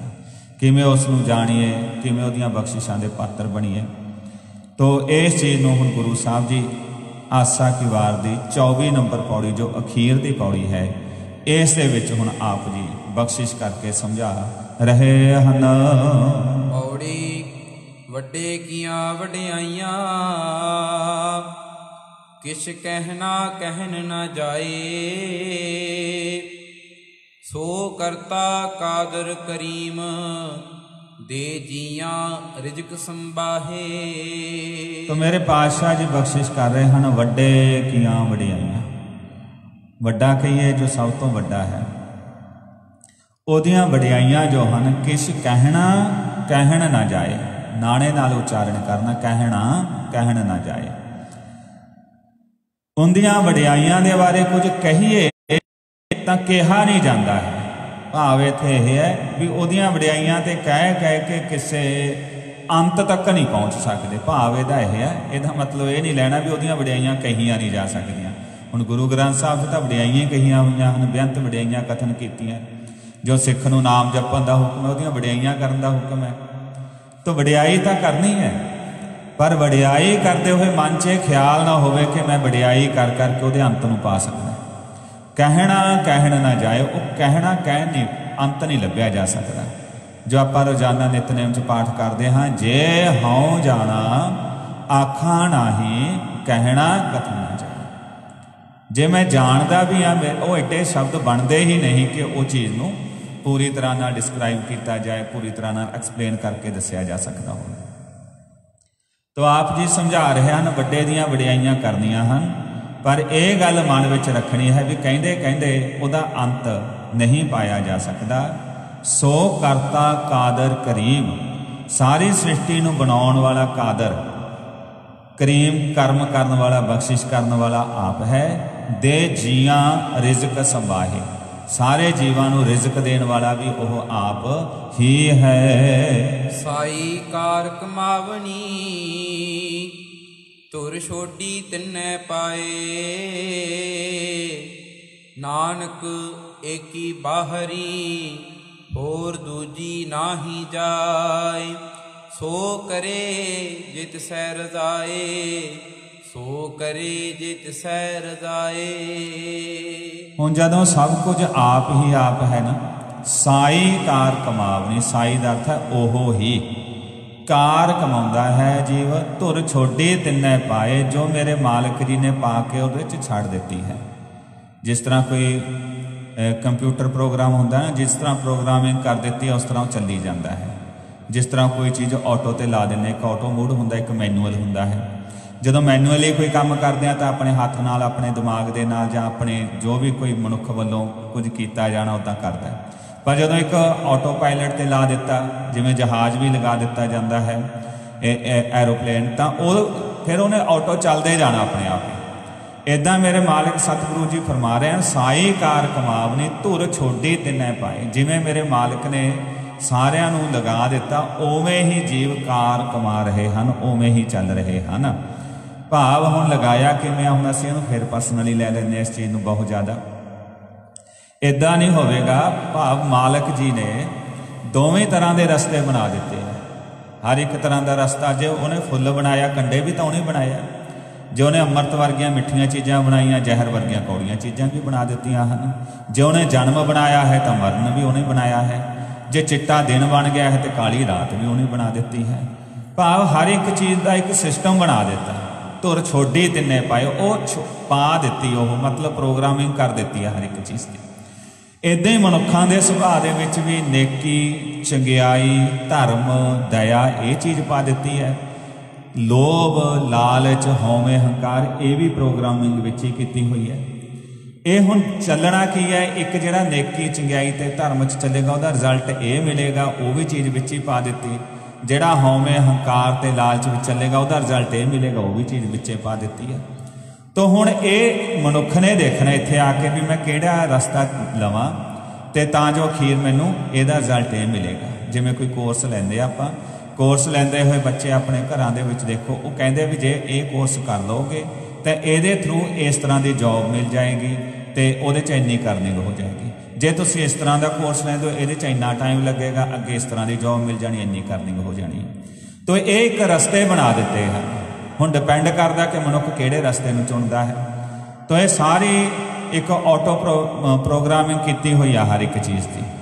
ਸਾਈ ਕਾਰ ਕਮਾਵਣੀ ਤੇ ਉਹੀ ਨਿਯਮ ਸੰਸਾਰ ਵਿੱਚ ਚੱਲਣਗੇ ਜੋ ਮੇਰੇ ਮਾਲਕ ਨੇ ਬਣਾ ਦਿੱਤੇ ਹੈ। ਕੋਈ ਵੱਖਰਾ ਨਿਯਮ ਸੰਸਾਰ 'ਚ ਕੋਈ ਮਨੁੱਖ ਬਣਾਏ ਇਦਾਂ ਨਹੀਂ ਹੋਏਗਾ।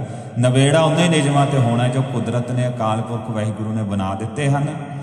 ਧੁਰ ਛੋਡੀ ਤਿੰਨੇ ਪਾਏ, ਧੁਰ ਤੋਂ ਹੀ ਜਦੋਂ ਤੋਂ ਸ੍ਰਿਸ਼ਟੀ ਸਾਜੀ ਹੈ, ਉਦੋਂ ਤੋਂ ਹੀ ਉਹ ਨਿਯਮ ਪਾ ਦਿੱਤੇ ਆ ਤੇ ਉਹਨਾਂ ਮੁਤਾਬਕ ਚੱਲ ਰਿਹਾ। ਇੱਥੋਂ ਇੱਕ ਗੱਲ ਹੋਰ ਵੀ ਜਾਣਨੀ ਹੈ, ਜਦੋਂ ਆਪਾਂ ਪਾਠ ਕਰਦੇ ਆ ਪਿੱਛੇ ਜੋ ਵੀ ਆਸਾ ਕੀ ਵਾਰ ਚ ਵਿਚਾਰ ਕਰਕੇ ਆਏ ਕਿ ਕਰਮ ਕਾਂਡਾਂ ਦੀ ਵਿਚਾਰ ਕੀਤੀ, ਇੱਕ ਜਗ੍ਹਾ ਗੁਰੂ ਸਾਹਿਬ ਨੇ ਬਖਸ਼ਿਸ਼ ਕੀਤੀ, ਸੱਚ ਕਾਲ ਕੂੜ ਵਰਤਿਆ, ਕਲ ਕਾਲਖ ਬੇਤਾਲ।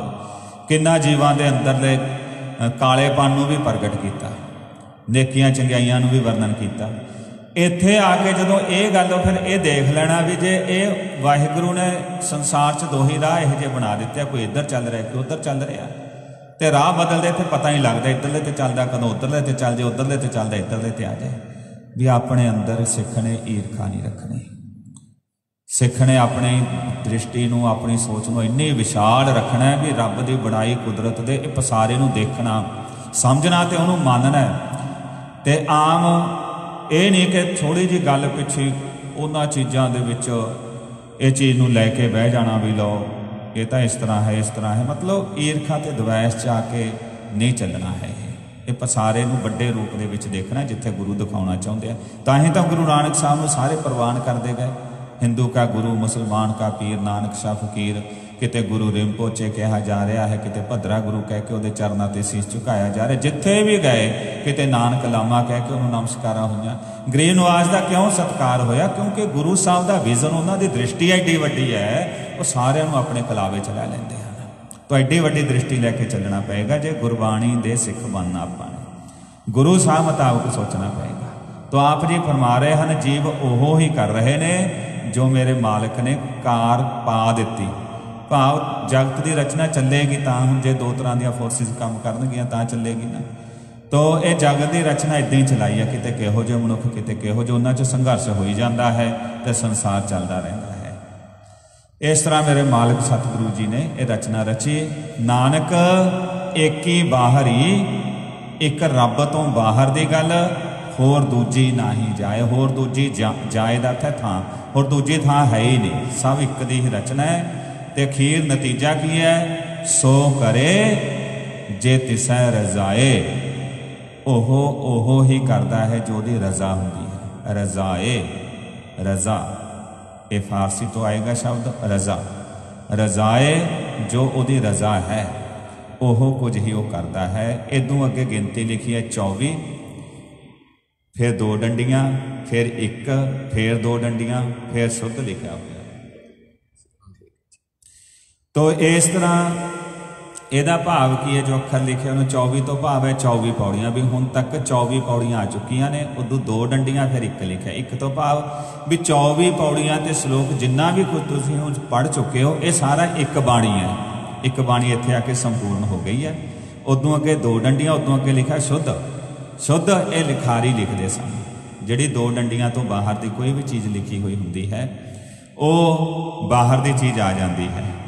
ਤੇ ਜਿਸ ਤਰ੍ਹਾਂ ਵਾਰ ਦੇ ਵਿੱਚ ਵਾਰੀ-ਵਾਰੀ ਸ਼ਲੋਕ ਅਤੇ ਪੌੜੀਆਂ, ਸ਼ਲੋਕ ਅਤੇ ਪੌੜੀਆਂ ਆਉਂਦੀਆਂ ਹਨ, ਤਾਂ ਲਿਖਾਰੀ ਲਿਖਦੇ ਹੋਏ ਕਈ ਵਾਰੀ ਲਗਾ ਮਾਤਰ ਦੀ ਗਲਤੀ ਰਹਿਣੀ ਇੱਥੇ ਜ਼ਿਆਦਾ ਇਹ ਗੱਲ ਦੀ ਪੋਸਿਬਿਲਿਟੀ ਹੁੰਦੀ ਸੀ। ਤਾਂ ਕਿਸੇ ਵੀ ਵਾਰ ਤੋਂ ਬਾਅਦ ਚ, ਬਹੁਤ ਵਾਰਾਂ ਤੋਂ ਬਾਅਦ ਵਿੱਚ ਸ਼ੁੱਧ ਸ਼ਬਦ ਲਿਖਿਆ ਹੁੰਦਾ ਜਾਂ ਦੂਜਾ ਸ਼ਬਦ ਲਿਖਿਆ, ਸ਼ੁੱਧ ਕੀਚਾ। ਇਹਦਾ ਅਰਥ ਕੀ ਹੈ? ਸ਼ੁੱਧ ਕੀਚੇ ਦਾ ਅਰਥ ਹੈ ਜਦੋਂ ਲਿਖਾਰੀ ਹੱਥ ਲਿਖ, ਲਿਖਦੇ ਸਨ ਤਾਂ ਉਹ ਲਿਖ ਕੇ ਰੱਖ ਦਿੰਦੇ ਸਨ, ਕਿਉਂਕਿ ਉਹਨਾਂ ਸਮਿਆਂ 'ਚ ਕਲਮ ਦਵਾ ਸਿਆਹੀ ਨਾਲ ਲਿਖਿਆ ਜਾਂਦਾ ਸੀ, ਪੰਨੇ ਨੂੰ ਸੁੱਕਣ ਤੇ ਵੀ ਸਮਾਂ ਲੱਗਦਾ ਸੀ ਸਿਆਹੀ ਨਾਲ ਅੱਖਰਾਂ ਨੂੰ। ਤਾਂ ਉਹ ਰੱਖ ਕੇ ਉਹ ਅਗਲਾ ਲਿਖਣ ਲੱਗ ਜਾਂਦੇ ਸਨ, ਜਿਨ੍ਹਾਂ ਦੀ ਹੈਂਡ ਹੈਂਡ ਰਾਈਟਿੰਗ ਚੰਗੀ ਹੁੰਦੀ ਸੀ, ਉਹ ਲਿਖਦੇ ਸਨ। ਦੂਜੇ ਨੂੰ ਉਹ ਕਹਿ ਦਿੰਦੇ ਸੀ ਵੀ ਹੁਣ ਤੂੰ ਚੈੱਕ ਕਰ ਲੈ, ਕੋਈ ਲਗਾ ਮਾਤਰਾ ਨਾ ਹੋਵੇ। ਉਹ ਲਾਸਟ ਵਿੱਚ ਲਿਖ ਦਿੰਦੇ ਸ਼ੁੱਧ ਕੀਚੈ ਭਾਵ ਸ਼ੁੱਧ ਕਰ ਲਵੋ। ਗੁਰੂ ਸਾਹਿਬ ਨੇ ਜੇ ਐ ਲਿਖਿਆ ਹੋਵੇ, ਸ਼ੁੱਧ ਕੀਚੈ ਇਹਦਾ ਮਤਲਬ ਕਿ ਪਹਿਲਾਂ ਕੋਈ ਅਸ਼ੁੱਧ ਬਾਣੀ ਲਿਖੀ ਗਈ, ਜਿਹੜੀ ਸ਼ੁੱਧ ਕੀਚੈ ਲਿਖਿਆ। ਤੋ ਇੱਥੇ ਲਿਖਾਰੀ ਲਈ ਸੀਗੀ ਇਹ ਇਨਸਟਰਕਸ਼ਨ ਕਿ ਸ਼ੁੱਧ ਕੀਚੈ ਵੀ ਭਾਈ ਸ਼ੁੱਧ ਕਰ ਲਓ, ਕੋਈ ਲਗਾ ਮਾਤਰ ਲਿਖ ਦਿਓ ਮੇਰੇ ਤੋਂ। ਰਹਿ ਨਾ ਗਈ ਹੋਵੇ, ਤੋ ਘੱਟ ਵੱਧ ਨਾ ਲੱਗ ਗਈ ਹੋਵੇ, ਤਾਂ ਜਿਹੜਾ ਦੂਸਰਾ ਲਿਖਾਰੀ ਸੀ ਉਹ ਸ਼ੁੱਧ ਕਰ ਲੈਂਦਾ ਸੀ।